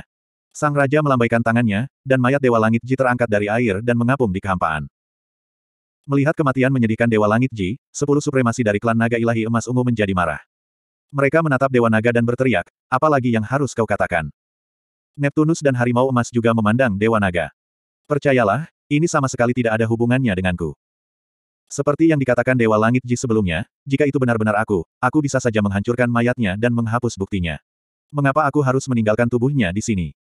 Bukankah ini memberi mereka sesuatu untuk digunakan melawanku? Apakah aku sebodoh itu? Dewa Naga buru-buru menatap Neptunus dan berkata. Neptunus mengerutkan kening. Tampaknya masuk akal. Dalam situasi seperti itu, unsur pembingkaian memang lebih mungkin terjadi. Namun, dia percaya pada Dewa Naga. Namun, akankah Monark dan yang lainnya mempercayainya?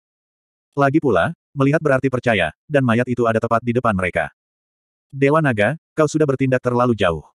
Sang Raja mengepalkan tangannya dan energi mengerikan meletus. Kekuatan hukum melonjak keluar, dan pemandangan langit dan bumi retak tiba-tiba muncul. Tuanku, tenanglah. Neptunus berteriak. Tenang. Aku pikir masalah ini juga ada hubungannya denganmu. Sang Raja menatap Neptunus seperti seekor singa yang marah. Semua misteri utama muncul dan kehendak surga meraung ke segala arah. Dalam sekejap mata, Gunung Dewa Naga rata dengan tanah akibat kemarahan Sang Raja. Hati Neptunus hancur. Dia tidak menyangka bahkan dirinya sendiri akan terlibat. Kau membunuh anggota klanku. Mata ganti mata. Dewa Surgawi Ji secara langsung mengaktifkan 3000 inkarnasi, dan aura pembunuhnya melonjak ke langit. Tuan Surgawi Ji, jangan lancang. Pada saat ini, diiringi raungan amarah, 17 binatang ilahi lainnya pun tiba, semuanya geram. 4147. Apa? Kamu ingin menggertakku dengan angka? Niat membunuh terpancar di mata God King. Dengan lambaian tangannya, sepuluh penguasa di belakangnya segera berdiri di depan 17 dewa binatang. Sang penguasa manusia pun memandang ke sepuluh penguasa umat manusia. Kesepuluh dewa itu mengerti dan ikut berdiri di hadapan ketujuh belas dewa binatang. Raja ilahi, Tuhan tertinggi, apa yang kau inginkan? Salah satu dewa binatang berkata dengan marah.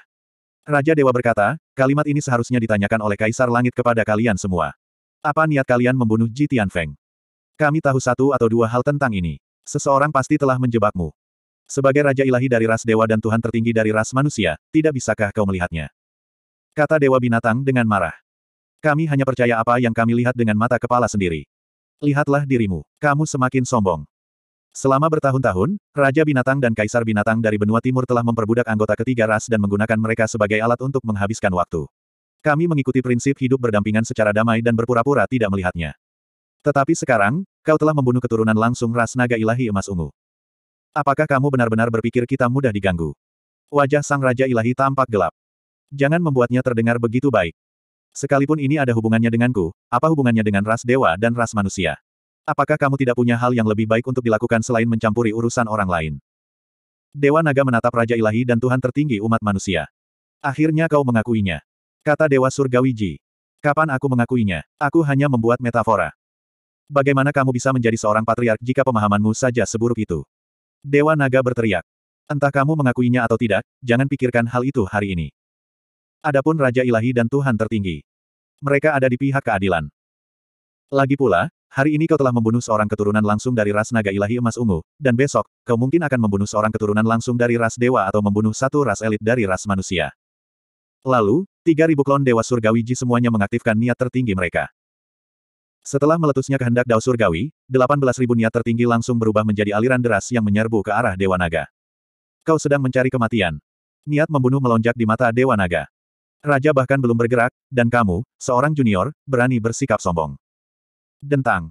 Dewa Naga yang murka langsung mengaktifkan kekuatan asalnya dan Neptunus bahkan tidak dapat menghentikannya tepat waktu. Bukan saja Dewa Naga telah mengamuk, tetapi hanya kekuatan asal-usulnya yang dapat menandingi 3000 inkarnasi. Karena itu, dia hanya bisa mengaktifkan energi asalnya. Ini. Murid-murid Monark, Heavenly Monarch, dan Heavenly Monarch Ji mengerut.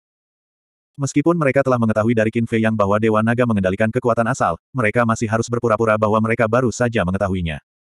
Dentang. Energi asal berubah menjadi pedang sepanjang satu meter yang tidak bisa dihancurkan. 18.000 misteri tertinggi hancur di tempat. Dewa Langit Ji memuntahkan seteguk darah saat wajahnya berubah pucat. Aku akan mengirimmu ke neraka sekarang juga. Dewa Naga tersenyum sinis saat dia menebas Dewa Langit Ji dengan pedangnya. Berani sekali kau menyakiti cucuku. Sekalipun kau Dewa Naga, aku tidak akan membiarkanmu pergi. Tiba-tiba, diiringi suara gemuruh yang dahsyat, 15 lelaki tua turun dari langit. Apa? Ekspresi Neptunus berubah tiba-tiba. Sebenarnya apa yang membuat 15 barang antik tua ini khawatir? Ledakan. Kelima belas lelaki tua itu melangkah maju dan mendarat di hadapan Dewa Surgawi Ji sembari mengaktifkan 3000 inkarnasi mereka. Niat utama muncul satu demi satu. Orang-orang tua ini semuanya telah menguasai tujuh niat tertinggi dari hukum yang terkuat. Salah satunya memiliki 21.000 ultimate intent. 15 di antaranya memiliki lebih dari 300 ribu niat utama dari hukum terkuat. Pemandangan macam apa ini? Bahkan Neptunus dan Dewa Naga pun tak kuasa menahan gemetar. Sebagai penguasa ras binatang dan ras laut, mereka tentu sangat jelas mengenai situasi ras naga ilahi emas ungu. Bagian yang paling mengerikan dari ras naga ilahi emas ungu bukanlah raja atau dewa langit Ji, melainkan kelima belas lelaki tua ini yang hidup menyendiri jauh di dalam pegunungan. Begitu kelima belas orang tua ini bergerak, bahkan mereka sendiri akan ketakutan setengah mati. Senior tua, ini salah paham. Tolong tenanglah. Dewa Naga, cepat berhenti. Neptunus berteriak berulang kali. Lebih dari 300 ribu niat utama dari hukum terkuat. Sejujurnya, bahkan kekuatan asal yang dikuasai Dewa Naga mungkin tidak dapat menghancurkannya. Karena kekuatan asal yang dikuasai Dewa Naga hanya dianugerahkan oleh sang penguasa. Tidak peduli seberapa kuatnya, ada batasnya. Terlebih lagi, jika kekuatan asal ini dihancurkan oleh 15 orang tua itu, maka Dewa Naga akan kehilangan kartu truf kekuatan asal ini. Karena sang penguasa tidak berada di kerajaan ilahi saat ini, dia tidak bisa lagi memberikan kekuatan asal kepada Dewa Naga. Jika Dewa Naga kehilangan kekuatan asal, itu sama saja dengan kehilangan penindasan terhadap tiga ras utama. Mendengar teriakan Neptunus, Dewa Naga sedikit mengernyit, dan pedang panjang yang dibentuk oleh kekuatan asal kembali padanya. Tidak buruk. Dia bahkan menganugerahkan kekuatan asal kepadamu. Tampaknya Yang Mulia benar-benar memperlakukanmu sebagai ajudan terpercayanya. Karena Dewa Naga memiliki kekuatan asal, maka Neptunus, kamu juga pasti memiliki kekuatan asal. Guru Jijiu menatap keduanya dan mencibir. Ini masalah kecil. Para senior, mohon jangan percaya dengan kata-kata fitnah. Kematian Jitian Feng sebenarnya tidak ada hubungannya dengan kita. Bagaimana kalau begini? Beri kami waktu. Kami pasti akan menemukan bukti dan memberikan penjelasan yang memuaskan kepada klan naga ilahi emas ungu. Kata Neptunus. Tapi mayat Jitian Feng ada di Gunung Dewa Naga. Ini fakta yang tak terbantahkan. Guru Ji berkata dengan suara yang dalam. Iya, ini tidak dapat disangkal, tetapi kematian Jitian Feng memang sangat aneh. Neptunus menjelaskan. Tiba-tiba, tatapan Dewa Naga bergetar, dan dia berteriak, penguasa ini mengerti. Apa? Neptunus menatapnya dengan heran. Tadi malam, Qin Fei yang datang ke Gunung Dewa Naga. Kukira dia ke sini untuk membalas dendam, tapi sekarang setelah kupikir-pikir, dia sebenarnya sedang memancing harimau itu menjauh dari gunung. Kata Dewa Naga dengan marah. Memancing harimau agar menjauh dari gunung. Neptunus tercengang. Itu benar. Dia menipuku agar keluar dari Gunung Dewa Naga dan kemudian menyuruh rekan-rekannya meletakkan mayat Ji Tianfeng di Gunung Dewa Naga untuk menjebakku. Kata Dewa Naga. Itu benar. Ketika rumor itu muncul di benua barat, benua utara, dan benua selatan, sepertinya tidak lama setelah dia datang ke Gunung Dewa Naga. Pasti itu dia. Dialah yang membunuh Ji Tianfeng, lalu menjebak kita karenanya. Dia menghasut hubungan antara lima ras besar kita, membuat kita berselisih paham, lalu keluar untuk meraup keuntungan. Neptunus mengangguk. Mengapa dia selalu merasa seperti dia telah mengabaikan sesuatu sebelumnya? Jadi ini dia. Apa pun yang kamu katakan, kamu harus membayar harganya hari ini. Mata Dewa Langit Ji menjadi dingin dan dia mengaktifkan kembali 3.000 klonnya. Dia tiba-tiba berbalik dan menyerang 17 Dewa Binatang. Tidak. Neptunus berteriak. Namun, Dewa Langit Ji pura-pura tidak mendengar. 3.000 klon menerkam para Dewa Binatang. Para dewa binatang tentu tidak akan tinggal diam dan menunggu kematian. Namun, mereka tidak dapat melawan sama sekali dalam menghadapi 3.000 klon. Aduh! Diiringi teriakan, tubuh 17 dewa binatang hancur di tempat dalam waktu kurang dari tiga tarikan napas. Bahkan jiwa ilahi mereka pun terhapus sepenuhnya. Tentu saja. Mereka tidak akan mati. Karena mereka telah meninggalkan jiwa ilahi mereka terlebih dahulu. Namun, pemandangan ini sungguh mengejutkan. Itu juga membuktikan kekuatan 3.000 klon. Mereka semua adalah penguasa yang telah menguasai kehendak surga, tetapi 17 dewa binatang seperti sekelompok anak-anak di hadapan dewa surgawi Ji. Tidak mengherankan jika sang dewa memberikan kekuatan asal kepada dewa naga dan Neptunus sebelum dia pergi. Tanpa kekuatan asal, mereka tidak akan memiliki kemampuan untuk menekan naga ilahi emas ungu sama sekali. Tuan Surgawiji. Pada saat yang sama, Dewa Naga melihat pemandangan ini dengan niat membunuh di matanya. Apa yang kamu inginkan? Jika ras binatang benar-benar ingin berperang, naga ilahi emas ungu tidak akan menjadi udang lunak. Paling-paling, kami akan bertarung sampai mati. Master ke-9 Ji menatap Dewa Naga, cahaya dingin bersinar di matanya. Anda. Dewa Naga sangat marah hingga ia hampir muntah darah. Hanya karena Dewa Langit Ji, dia membunuh 17 Dewa Binatang dari ras binatang di depannya. Ini terlalu berlebihan. Meskipun ke-17 Dewa Binatang tidak benar-benar mati, namun perilaku semacam ini merupakan penghinaan nyata baginya. Cukup. Mereka toh tidak akan mati, jadi mari kita tahan saja ini untuk saat ini. Raja Laut menyampaikan suaranya kepada kelompok tetua dan berkata, 17 Dewa Binatang telah dimusnahkan. Kalian seharusnya sudah tenang sekarang. Beri kami waktu. Kami berjanji untuk menyelidiki masalah ini secara menyeluruh dan memberi kalian penjelasan. Oke. Kami akan memberi Anda waktu untuk menyelidiki. Tiga bulan. Jika Anda tidak memberi kami penjelasan setelah tiga bulan, jangan salahkan kami karena bersikap kejam. Lain kali, para dewa binatang ini akan benar-benar hancur jiwa dan raganya. Ayo pergi. Master ke-9 Ji meninggalkan kata-kata ini, membuka lorong ruang waktu, dan membawa sekelompok orang pergi. Segera. Hanya Dewa Naga, Neptunus, dan Harimau Emas yang tersisa di sini. Ini terlalu banyak, terlalu banyak. Orang-orang tua itu sama sekali tidak menaruh perhatian pada ras laut dan ras binatang. Sang harimau emas meraung. Tidak ada yang dapat kita lakukan mengenai hal itu. Orang-orang ini, meskipun sekarang hidup menyendiri jauh di pegunungan dan tidak peduli dengan dunia, ketika mereka masih muda, siapa di antara mereka yang bukan sosok yang keberadaannya membuat orang gemetar ketakutan. Begitu mereka marah, bahkan jika kita bisa membunuh mereka, ras binatang dan ras laut akan membayar harga yang mahal. Neptunus mendesah dalam-dalam. Lalu apa yang harus kita lakukan sekarang? Qin Fei Yang dan orang-orang ini lebih licik daripada rubah. Mungkin lebih sulit daripada naik ke langit untuk mengetahui kebenaran masalah ini. Dan dengan rencana yang begitu kejam, mereka pasti tidak akan memberi kita kesempatan untuk mengetahui kebenarannya. Si harimau emas merasa khawatir. Jika mereka tidak bisa menemukan kebenarannya, bagaimana mereka bisa memberikan penjelasan pada ras naga ilahi emas ungu? Menemukan kebenaran memang sesulit naik ke langit. Sekarang, untuk menyelesaikan masalah ini, saya khawatir kita hanya bisa meminta orang-orang dari dinasti tengah untuk maju. Kata Neptunus. Pupil mata harimau emas mengecil. Ada juga jejak ketakutan yang mendalam di mata Dewa Naga. Baiklah. Cobalah untuk menyelidikinya. Akan lebih baik jika kamu bisa menemukan kebenarannya. Aku akan pergi ke sentral dinasti sekarang. Selama mereka bersedia maju, para tua bangka dari ras naga ilahi emas ungu itu tidak akan berani mengatakan apa pun. Setelah Raja Laut selesai berbicara, dia menatap Dewa Naga dan menasihati, jangan bertindak gegabah saat aku pergi. Kalau tidak, bahkan dengan kekuatan asalmu, kamu mungkin tidak akan mampu menahan kekuatan gabungan dari tiga ras utama. Aku tahu. Dewa Naga melambaikan tangannya dengan tidak sabar. Neptunus mendesah tak berdaya, membuka lorong ruang waktu, lalu pergi. 4148. Temukan dia. Perintahkan semua binatang buas di Skandinavia untuk mencari Qin Fei Yang dan bajingan-bajingan itu untuk penguasa ini. Penguasa ini akan memberitahu mereka harga yang harus dibayar untuk memprovokasi penguasa ini. Semakin Dewa Naga memikirkannya, semakin marah dia jadinya. Jika benar-benar dia yang melakukannya, itu masuk akal.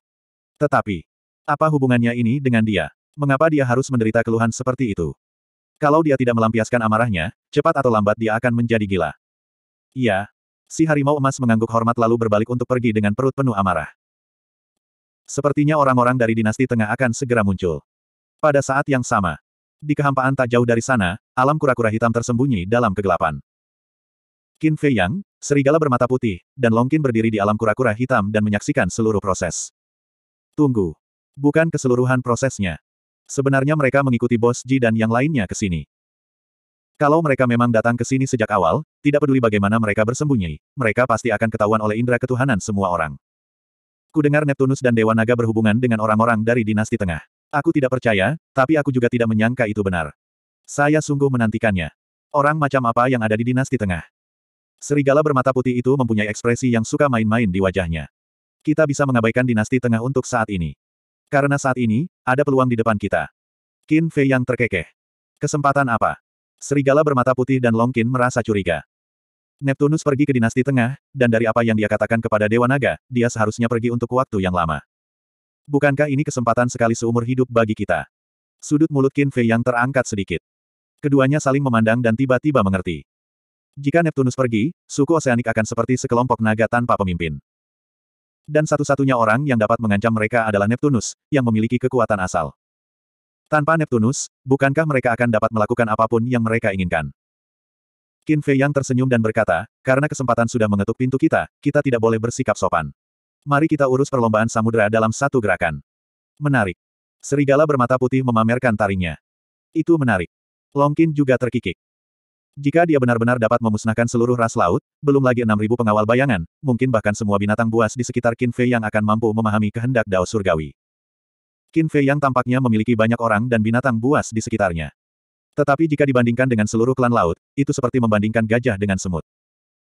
Jika kita kesampingkan yang lain, hanya 6.000 pengawal bayangan saja akan membutuhkan 36.000 makna mendalam tertinggi untuk memahami kehendak Dao Surgawi. Dengan kata lain, selama masing-masing dari 36.000 anggota suku laut menguasai Ultimate Profound, itu akan cukup bagi 6.000 pengawal rahasia untuk mencapai surga dalam satu langkah. 36.000 orang, masing-masing menguasai Ultimate Profound. Di alam awan langit, ini hampir seperti mimpi. Namun di klan laut, jumlah orang yang menguasai ilmu mendalam tertinggi dari hukum tertinggi jauh melebihi jumlah ini. Lebih-lebih lagi, banyak dari klan laut telah menguasai beberapa hukum tertinggi yang mendalam.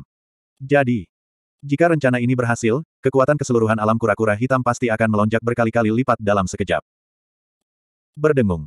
Tiba-tiba, batu transmisi suara ilahi berdering. Qin Fei Yang mengeluarkan batu transmisi suara ilahi, dan sebuah bayangan muncul. Itu adalah Raja. Kamu masih di benua timur. Sang Raja bertanya sambil tersenyum. Dalam. Aku sedang mengawasi Dewa Naga. Qin Fei yang tersenyum. Lalu, setelah kami pergi, apakah Dewa Naga dan Neptunus melakukan sesuatu? Sang Raja bertanya. Iya. Neptunus akan pergi ke dinasti tengah untuk meminta orang-orang di sana maju dan menyelesaikan masalah ini. Qin Fei yang mengangguk. Saya tahu mereka akan melakukan ini. Tapi kami para penguasa memang terlalu berat sebelah.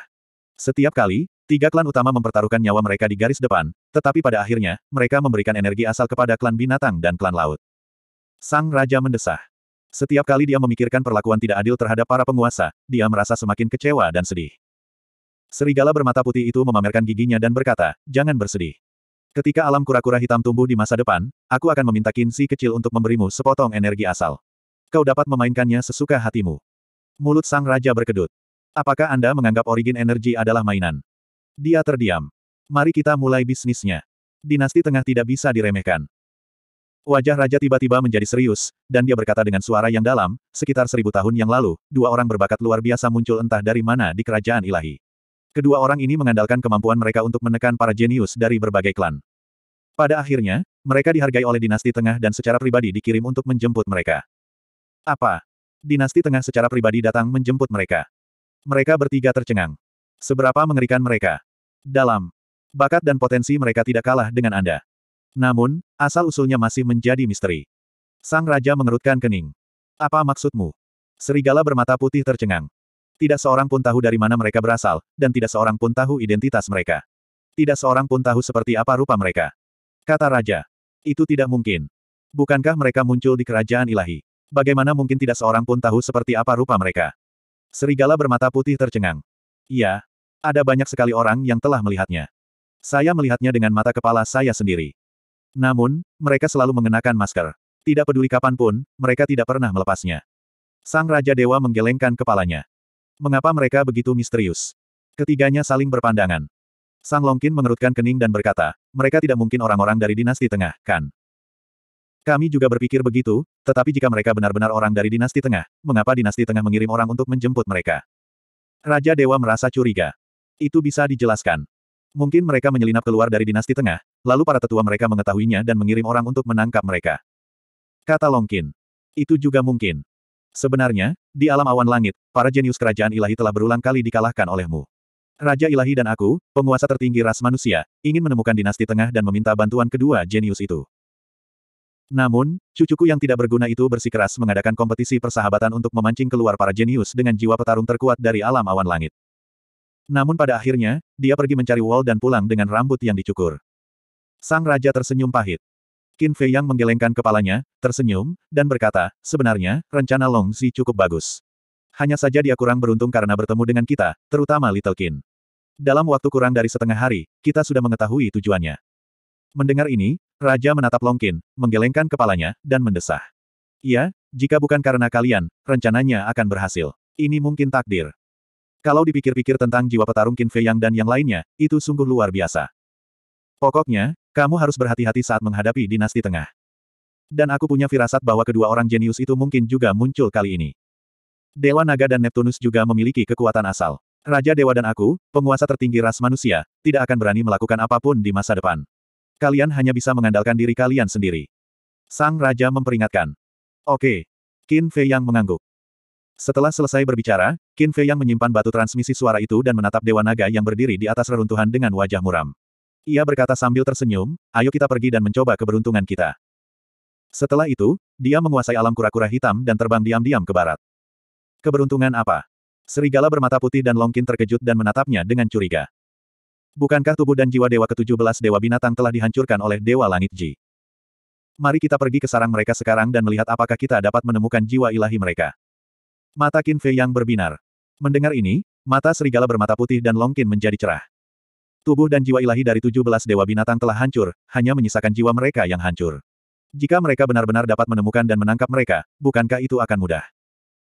Sebab ketika berhadapan dengan mereka dalam kondisi seperti itu, jiwa-jiwa yang hancur itu tidak akan mampu melawan. Beberapa saat kemudian, alam kura-kura hitam mendarat di atas sebuah gunung. Gunung-gunungnya bergelombang dan pepohonannya rimbun, tetapi dilihat dari sebaran medannya, pertempuran telah terjadi di sini. Karena ini adalah sarang burung Peng Surgawi. Qin Fei Yang dan yang lainnya mengamati sejenak dan menemukan bahwa ada banyak raja binatang dan kaisar binatang bersembunyi di dalam sarang. Mereka semua bersembunyi dalam kegelapan dan mata mereka penuh kewaspadaan. Ini aneh. Saat pertama kali datang ke sini, kami tidak melihat begitu banyak kaisar binatang dan penguasa binatang. Serigala bermata putih bergumam. Apakah kamu masih perlu berpikir? Biasanya, ini adalah area terlarang. Tidak ada bis yang berani menginjakan kaki di sini. Tapi sekarang karena Peng Surgawi ada di tangan kita, ada begitu banyak Raja Binatang dan Kaisar Binatang berkumpul di sini. Sepertinya mereka sedang menjaga sesuatu. Longkin berbisik. Menjaga jiwa-jiwa yang hancur dari Peng Surgawi. Semangat serigala bermata putih pun terangkat. Dari apa yang terlihat, kemungkinan besar memang begitu. Longkin mengangguk dan menoleh ke arah Qin Fei yang sambil tersenyum. Sepertinya kita cukup beruntung. Mungkin. Qin Fei yang tersenyum tipis. Hem. Longkin bingung. Mungkin apa maksudmu? Secara logika, jiwa-jiwa dewa binatang yang hancur harus disimpan oleh dewa naga sendiri. Karena ini adalah cara yang paling aman. Aku tidak percaya kalau dewa binatang cukup bodoh untuk menyimpan jiwa-jiwa yang hancur di sarang mereka sendiri dan membiarkan kelompok penguasa binatang dan kaisar binatang yang lemah ini menjaga mereka. Qin Fei yang berspekulasi. Pada awalnya, dia juga berpikir bahwa mereka cukup beruntung. Tetapi sekarang, dia memikirkannya baik-baik dan merasa itu agak terlalu mulus. Jadi dia merasa sedikit tidak yakin dalam hatinya. Bagaimana jika mereka sebodoh itu? Serigala bermata putih memamerkan taringnya. Qin Fei yang tidak dapat menahan diri untuk menggelengkan kepalanya dan tersenyum pahit. Siapa yang mereka pandang rendah? Bagaimanapun juga, mereka adalah dewa binatang dari ras binatang. Jika mereka benar-benar bodoh, bagaimana mereka bisa sampai ke posisi mereka saat ini? Namun, karena mereka sudah ada di sini dan jiwa Peng Surgawi yang hancur mungkin ada di sini, mereka tentu harus keluar dan melihatnya. Desir. Tanpa peringatan. Dia muncul di pegunungan di luar sendirian. Qin Fei Yang. Murid para kaisar binatang dan penguasa binatang yang bersembunyi di pegunungan tiba-tiba menyusut. Qin Fei Yang mengabaikan mereka, indera ilahi yang tak terlihat bagaikan air pasang, yang langsung menutupi seluruh gunung. Hah! Langsung. Matanya penuh dengan keterkejutan. Di bawah tanah, ia menemukan ruang rahasia. Ruang rahasia ini tampaknya baru dibangun. Mungkinkah jiwa Peng Surgawi yang hancur benar-benar ada di sini? Qin Fei Yang, apa yang sedang kamu lakukan? Pergilah sekarang juga. Sekelompok kaisar binatang dan penguasa binatang berlari keluar. Namun tidak seorang pun dari mereka yang berani mendekati Qin Fei Yang. Mereka semua berdiri jauh. Di satu sisi, mereka takut dan di sisi lain, mereka menunjukkan ekspresi galak. Itu benar-benar agak lucu. 4149. Gemuruh. Qin Fei Yang melambaikan tangannya, dan tanah di bawahnya retak. Rahasia yang tersembunyi di bawah tanah menerobos tanah dan melayang di udara. Hentikan itu. Melihat pemandangan ini, sekelompok penguasa binatang dan kaisar binatang meraung dengan cemas. Tidak mungkin itu benar-benar ada di dalam, kan? Gumam Qin Fei Yang. Jika tidak, kemampuan akting para kaisar binatang dan penguasa binatang ini terlalu hebat. Dia diam-diam berhati-hati saat berjalan ke ruang rahasia. Ia menemukan bahwa ruang rahasia ini sebenarnya dapat menghalangi penyelidikan kesadaran ilahi. Dengan kata lain, hanya dengan membuka ruang rahasia itu dia dapat mengetahui apa yang ada di dalamnya. Setelah mengamati sejenak, Qin Fei yang melambaikan tangannya, dan gelombang energi hidup dan mati muncul dan meledak ke arah ruang rahasia. Dengan suara berderak, ruang rahasia itu pecah di tempat. Namun pada saat yang sama, Mata para kaisar binatang dan penguasa binatang berkilat tajam saat mereka berbalik dan berlari. Peristiwa yang tak terduga ini membuat Qin Fei Yang mengerutkan kening. Dentang. Sebelum dia bisa memikirkannya dengan seksama, suara yang memekakkan telinga tiba-tiba terdengar di ruang rahasia yang rusak, diikuti oleh kekuatan yang mengguncang bumi. Ruang rahasia yang rusak itu langsung hancur berkeping-keping dan berubah menjadi debu. Seberkas cahaya bintang melesat keluar secara tiba-tiba dari dalam debu, dan melesat ke arah Qin Fei yang bagaikan sambaran petir, menyebabkan Qin Fei yang merasakan bahaya yang luar biasa besar. Senjata sovereign tingkat tinggi. Kelopak mata Qin Fei yang berkedut, dan dia dengan tegas mundur. Yang menarik perhatiannya adalah sebuah pagoda kuno. Pagoda itu tampak seperti terbuat dari bintang-bintang dan memancarkan cahaya bintang yang menyilaukan. Kemampuan aktingnya sungguh bagus. Gumam Qin Fei Yang. Sebelumnya, dia hampir percaya bahwa ruang rahasia ini berisi sisa jiwa Tian Peng. Untungnya, dia tidak lengah. Kalau tidak, pagoda kuno di depannya ini sudah cukup untuk membunuhnya seketika. Ini karena ini adalah senjata sovereign tingkat tinggi. Jika dia lengah, bahkan dengan kemampuannya, dia pasti akan mati. Dia menghindarinya. Pagoda kuno juga sangat terkejut. Ia mengira bisa mengejutkan Qin Fei Yang, tetapi ia tidak menyangka dia akan bereaksi secepat itu. Jika kamu cukup mengenalku, kamu tidak akan begitu terkejut. Kata Qin Fei Yang. Niat membunuh terpancar di matanya. Tak perlu dikatakan lagi, pagoda kuno ini pastilah senjata ilahi penguasa Dewa Naga. Dewa Naga pasti sudah menduga bahwa ia akan datang untuk mencari sisa jiwa Peng Surgawi, jadi ia menciptakan sebuah ruangan rahasia dan memerintahkan pagoda kuno untuk menyiapkan penyergapan di sana, sehingga ia pun lengah. Dilihat dari penampilannya, Dewa Naga ini juga orang yang sangat cerdik. Jadi, Anda sudah menemukan bahwa ada masalah di sini. Tapi itu tidak penting. Pokoknya, jangan pernah berpikir untuk pergi hari ini. Guta mendengus dingin. Kekuatan ilahi bergulir, menyerang Qin Fei Yang dengan ganas. Anda punya rencana yang bagus. Tahan aku. Saat Dewa Naga datang, hanya kematian yang menungguku. Tetapi, di sinilah kamu melebih-lebihkan dirimu sendiri. Saat suara Qin Fei Yang jatuh, 3000 inkarnasi muncul. Gemuruh. Semua misteri tertinggi langsung diaktifkan. Melihat situasi ini, Guta terkejut. Dia langsung lari ketakutan tanpa menoleh ke belakang. Ini benar-benar seorang pemuda yang tegas. Kalau ada pemuda lain yang mengetahui konspirasi pihak lain, dia pasti akan memandang rendah pihak lain itu dengan bangga, memamerkan kecerdasan dan kemampuannya. Tapi orang ini, bukan saja dia tidak melakukannya, tetapi dia juga berusaha sekuat tenaga. Benar saja, para jenius kerajaan ilahi tidak dapat dibandingkan dengannya. Berlari. Qin Fei Yang menggelengkan kepalanya dan tersenyum. Tiga ribu inkarnasi melambaikan tangan mereka, dan gelombang misteri tertinggi membanjiri kehampaan dan bumi, menyerbu menuju pagoda kuno. Dewa Naga, selamatkan aku. Guta meraung putus asa. Disertai suara retakan, tubuhnya hancur di tempat. Tepat saat dia akan dihancurkan, sesosok turun dari langit. Itu adalah Dewa Naga. Melihat situasi pagoda kuno itu, wajah Dewa Naga menjadi muram. Kekuatan asalnya muncul, berubah menjadi pedang sepanjang tiga kaki, dan menebasnya. Misteri tertinggi dari 3000 inkarnasi segera hancur seperti kayu busuk. Kau datang sangat cepat. Qin Fei yang tersenyum pada Dewa Naga, membuka terowongan ruang waktu, berbalik, dan pergi tanpa melihat ke belakang. Dia sudah pasti tidak bisa meneruskan pertarungan. Kekuatan asal kerajaan ilahi bukanlah sesuatu yang dapat disainginya. Jika dia tinggal sedikit lebih lama, dia mungkin tidak dapat melarikan diri. Melihat Qin Fei Yang yang pergi, Dewa Naga ingin mengejarnya, tetapi dia tidak berdaya. Dia menoleh ke arah Guta dan berkata dengan suara berat, apakah kamu sudah memberitahukan keberadaanmu sebelumnya? Sama sekali tidak. Guta, yang berhasil lolos dari maut, terbang ke hadapan Dewa Naga, masih dipenuhi rasa takut. Lalu mengapa serangan diam-diammu tidak berhasil? Dewa Naga sangat marah. Saya hanya bisa mengatakan bahwa dia terlalu waspada. Kata Guta. Mendengar ini, Dewa Naga tidak dapat menahan diri untuk mengepalkan tangannya. Meski dia tidak mau mengakuinya, fakta telah membuktikan bahwa selama ini dia telah meremehkan orang ini. Kalau saja orang lain yang menemukan ruangan rahasia tersembunyi di bawah tanah, dan ruangan rahasia ini bahkan bisa menghalangi penyelidikan indera ketuhanan, mereka pasti akan percaya bahwa sisa jiwa Tian Peng tersembunyi di dalamnya.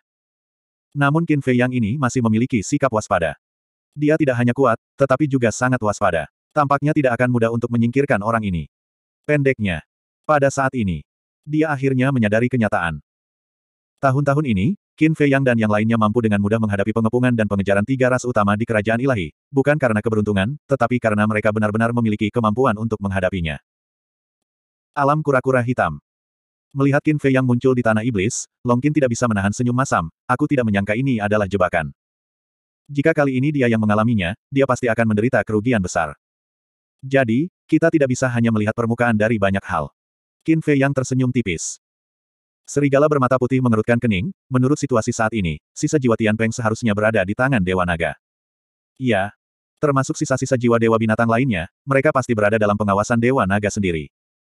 Qin Fei yang mengangguk. Lalu apakah kita masih ingin pergi ke sarang dewa binatang yang lain? Serigala bermata putih bertanya. Tidak perlu melakukan itu. Ayo kita langsung ke klan laut. Qin Fei yang tersenyum. Serigala bermata putih dan Long Qin saling berpandangan, tiba-tiba merasa gembira. Qin Fei Yang merenung sejenak dan berkata, tetapi sebelum kita pergi ke klan laut, kita masih perlu merencanakan. Rencana apa? Long Qin bingung. Neptunus telah pergi ke dinasti tengah, dan tidak ada yang bisa mengancam mereka. Mereka bisa langsung pergi ke klan laut. Meskipun Neptunus telah pergi ke dinasti tengah, masih ada Dewa Naga. Bagaimana jika klan laut meminta bantuan Dewa Naga? Bukankah usaha kita akan sia-sia? Jadi, kita harus memikirkan cara untuk memutus hubungan antara klan laut dan Dewa Naga.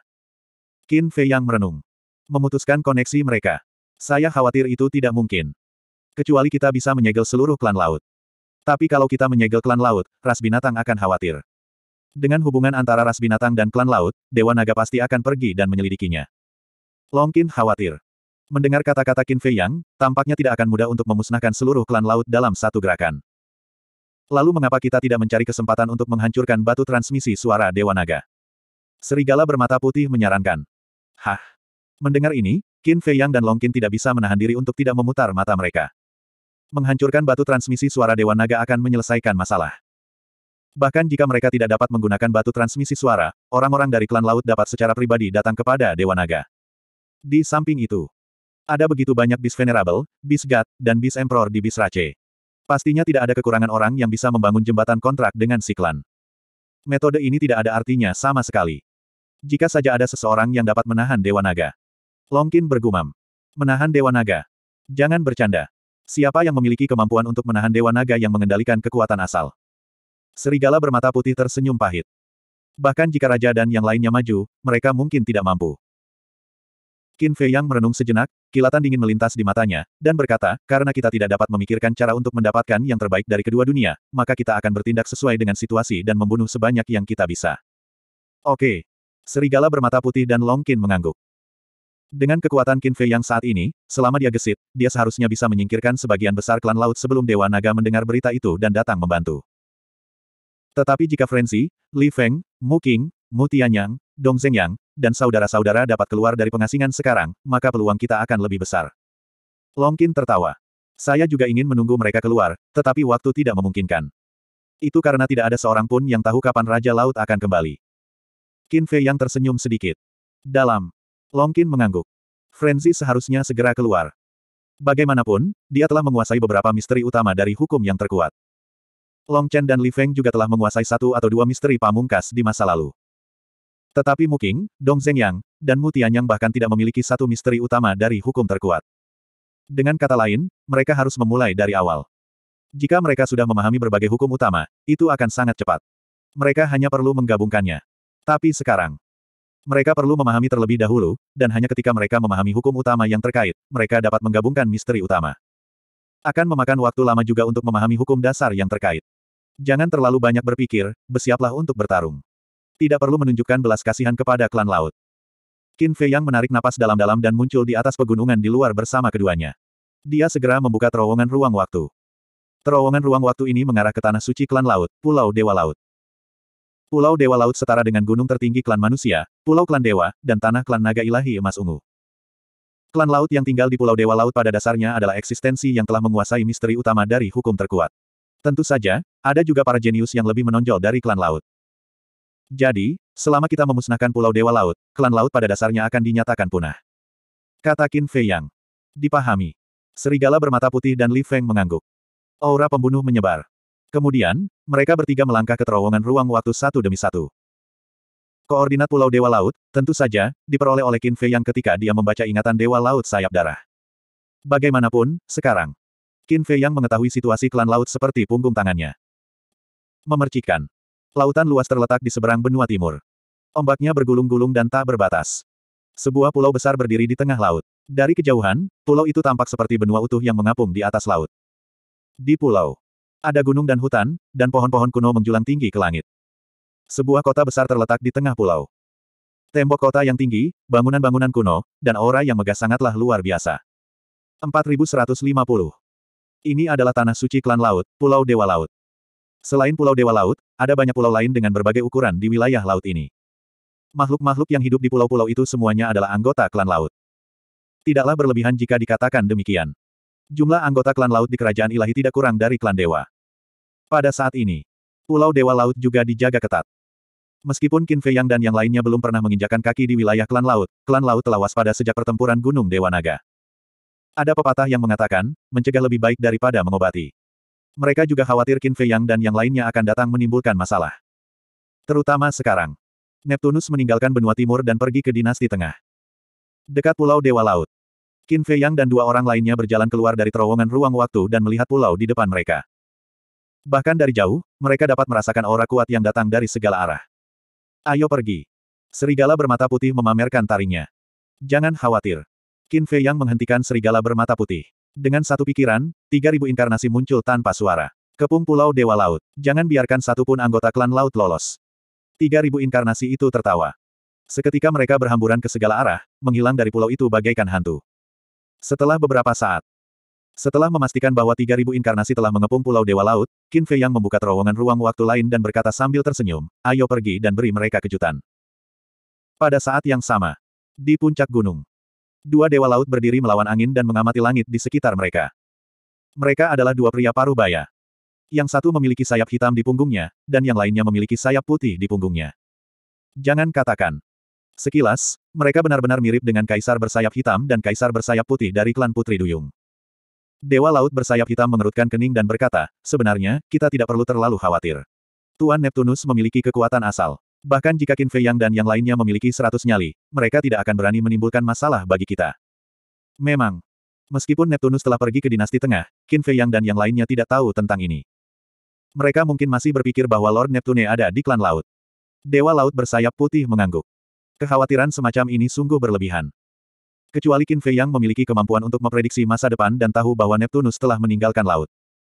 Namun, kelompok orang ini benar-benar berani. Mereka berani menculik Dewa Laut Bloodwing. Tunggu saja. Cepat atau lambat, aku akan membiarkan kelompok sampah ini merasakan akibat dari menyinggung klan laut kita. Namun, sebelum dia selesai berbicara, mereka berdua tampaknya telah menemukan sesuatu. Mereka melihat ke langit dan melihat terowongan ruang waktu muncul. Hem. Dua. Pulau Dewa Laut Pulau Dewa. Sos, es, ses. Milik Tuhan milik Tuhan. Keduanya melayang ke udara untuk menyambutnya. Namun, ketika ketiga sosok itu keluar dari terowongan ruang waktu, keduanya mengubah ekspresi mereka. Mereka bahkan menggosok mata mereka karena tidak percaya. Kok bisa tiga-tiganya? Ini terlalu akurat, bukan? Bicara tentang iblis dan dia akan muncul. Mereka tidak ramah. Tapi jangan panik sekarang.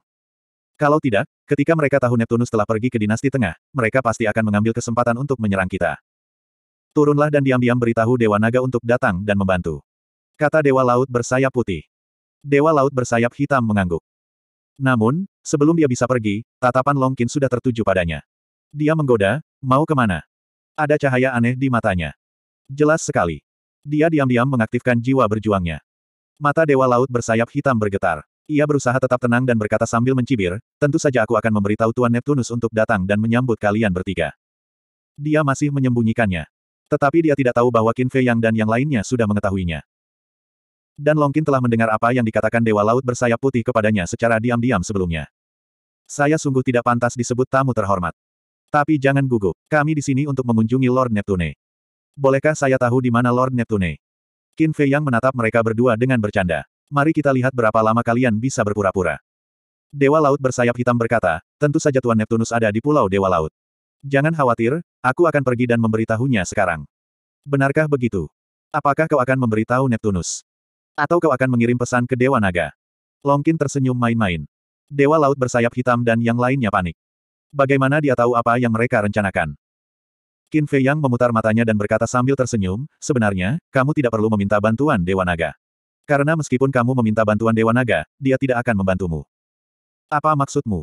Mereka berdua terkejut. Karena kita sudah tahu bahwa Neptunus akan pergi ke dinasti tengah. Tetapi tahukah kau mengapa kita mengetahui hal ini tepat setelah Raja Laut pergi? Kata Qin Fei Yang. Ini.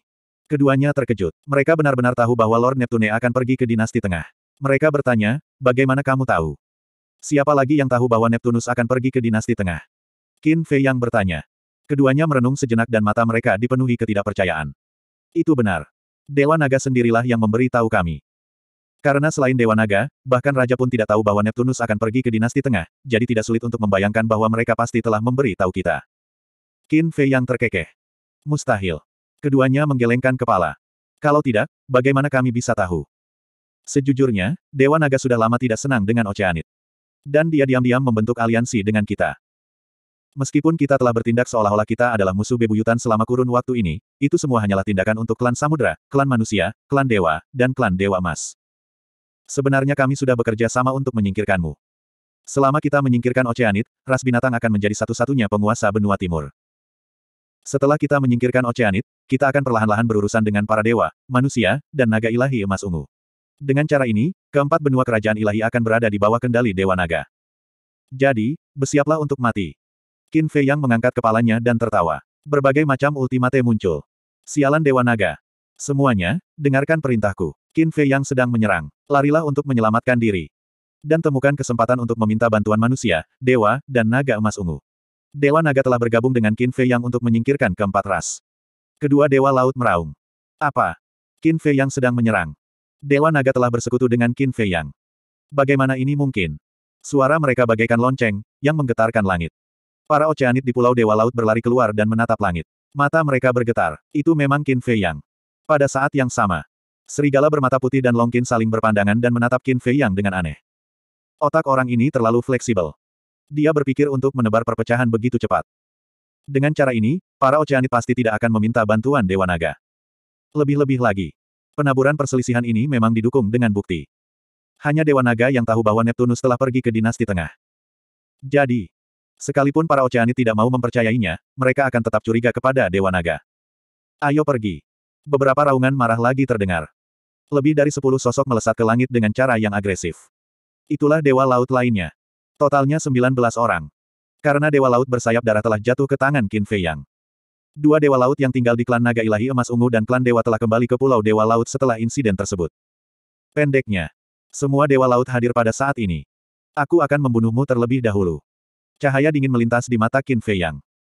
Semua makna mendalam tertinggi segera memancarkan kekuatan ilahi yang merusak dan menyerang 17 Dewa Laut. Serigala bermata putih dan Longkin saling berpandangan dan menyerang Dewa Laut bersayap hitam dan Dewa Laut bersayap putih. Jangan melawan. Saat anggota klan kita berhasil melarikan diri dari Pulau Dewa Laut, kita akan pergi dan mundur. Dewa Laut bersayap hitam berteriak. Saya khawatir tidak ada satupun oceanit kalian yang dapat melarikan diri dari Pulau Dewa Laut. Longkin mencibir. Anda. Dewa Laut bersayap hitam menatap Longkin dengan kaget dan marah. Apa yang sedang terjadi? Mengapa dia tidak bisa lepas dari telinga wanita ini, tidak peduli apa yang dia katakan. Ledakan. Pertempuran dimulai. Tujuh belas dewa laut di langit memancarkan cahaya yang kejam di mata mereka. Masing-masing dari mereka telah mengaktifkan enam makna mendalam tertinggi dan kehendak dao surgawi meletus. Kekosongan di sini runtuh sepotong demi sepotong. Itu seperti pemandangan kiamat. Cepat habisi dia sebelum dia mengaktifkan 3000 klonnya. 17 dewa laut dan 102 niat tertinggi dari hukum tertinggi. Jajaran seperti itu bisa dikatakan mengejutkan.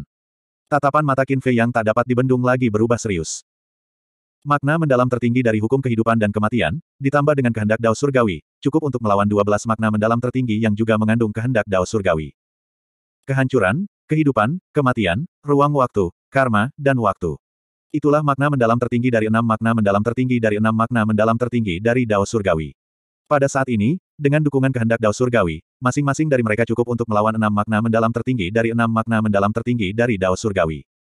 Dengan kata lain, Enam makna mendalam tertinggi miliknya dari enam makna mendalam tertinggi milik Dewa Laut dapat bersaing melawan 36 makna mendalam tertinggi milik pihak lain. Namun itu masih jauh dari cukup. Karena bahkan makna mendalam tertinggi dari hukum kehidupan dan kematian serta enam makna mendalam tertinggi dari Dewa Laut hanya dapat bersaing dengan 48 makna mendalam tertinggi dari Dao Surgawi. Tampaknya memang agak sulit untuk berurusan dengan begitu banyak Dewa Laut tanpa 3000 klon. Namun, 3000 klon itu kini mengepung Pulau Dewa Laut dan tidak bisa datang untuk mendukungnya. Ia hanya bisa mengandalkan dirinya sendiri. Ledakan. Dalam sekejap. Lebih dari seratus makna mendalam tertinggi bertabrakan. Qin Fei yang langsung memuntahkan darah di tempat dan wajahnya langsung pucat pasi. Apa yang sedang terjadi? Dia tidak mengaktifkan 3000 klonnya. 17 Dewa Laut terkejut. Sekalipun dia telah menguasai makna mendalam tertinggi dari hukum kehidupan dan kematian serta kehendak dao surgawinya lebih kuat dari mereka, dia seharusnya tidak begitu ceroboh, bukan? Lebih-lebih lagi, dari kontak mereka selama periode waktu ini, Qin Fei yang bukanlah orang yang ceroboh. Mengapa dia melakukan ini? Tapi segera. Suatu firasat buruk muncul dalam hati mereka. Namun mereka tidak tahu apa itu. Mereka hanya merasa bahwa sesuatu yang besar akan terjadi. Jangan khawatir tentang hal itu. Cepat dan bunuh mereka. Dewa Laut bersayap hitam meraung. Lawannya ialah serigala bermata putih. Kekuatan dan kesadaran bertarung serigala bermata putih sama sekali tidak kalah dengannya. Sulit untuk mengatakan siapa yang akan menang.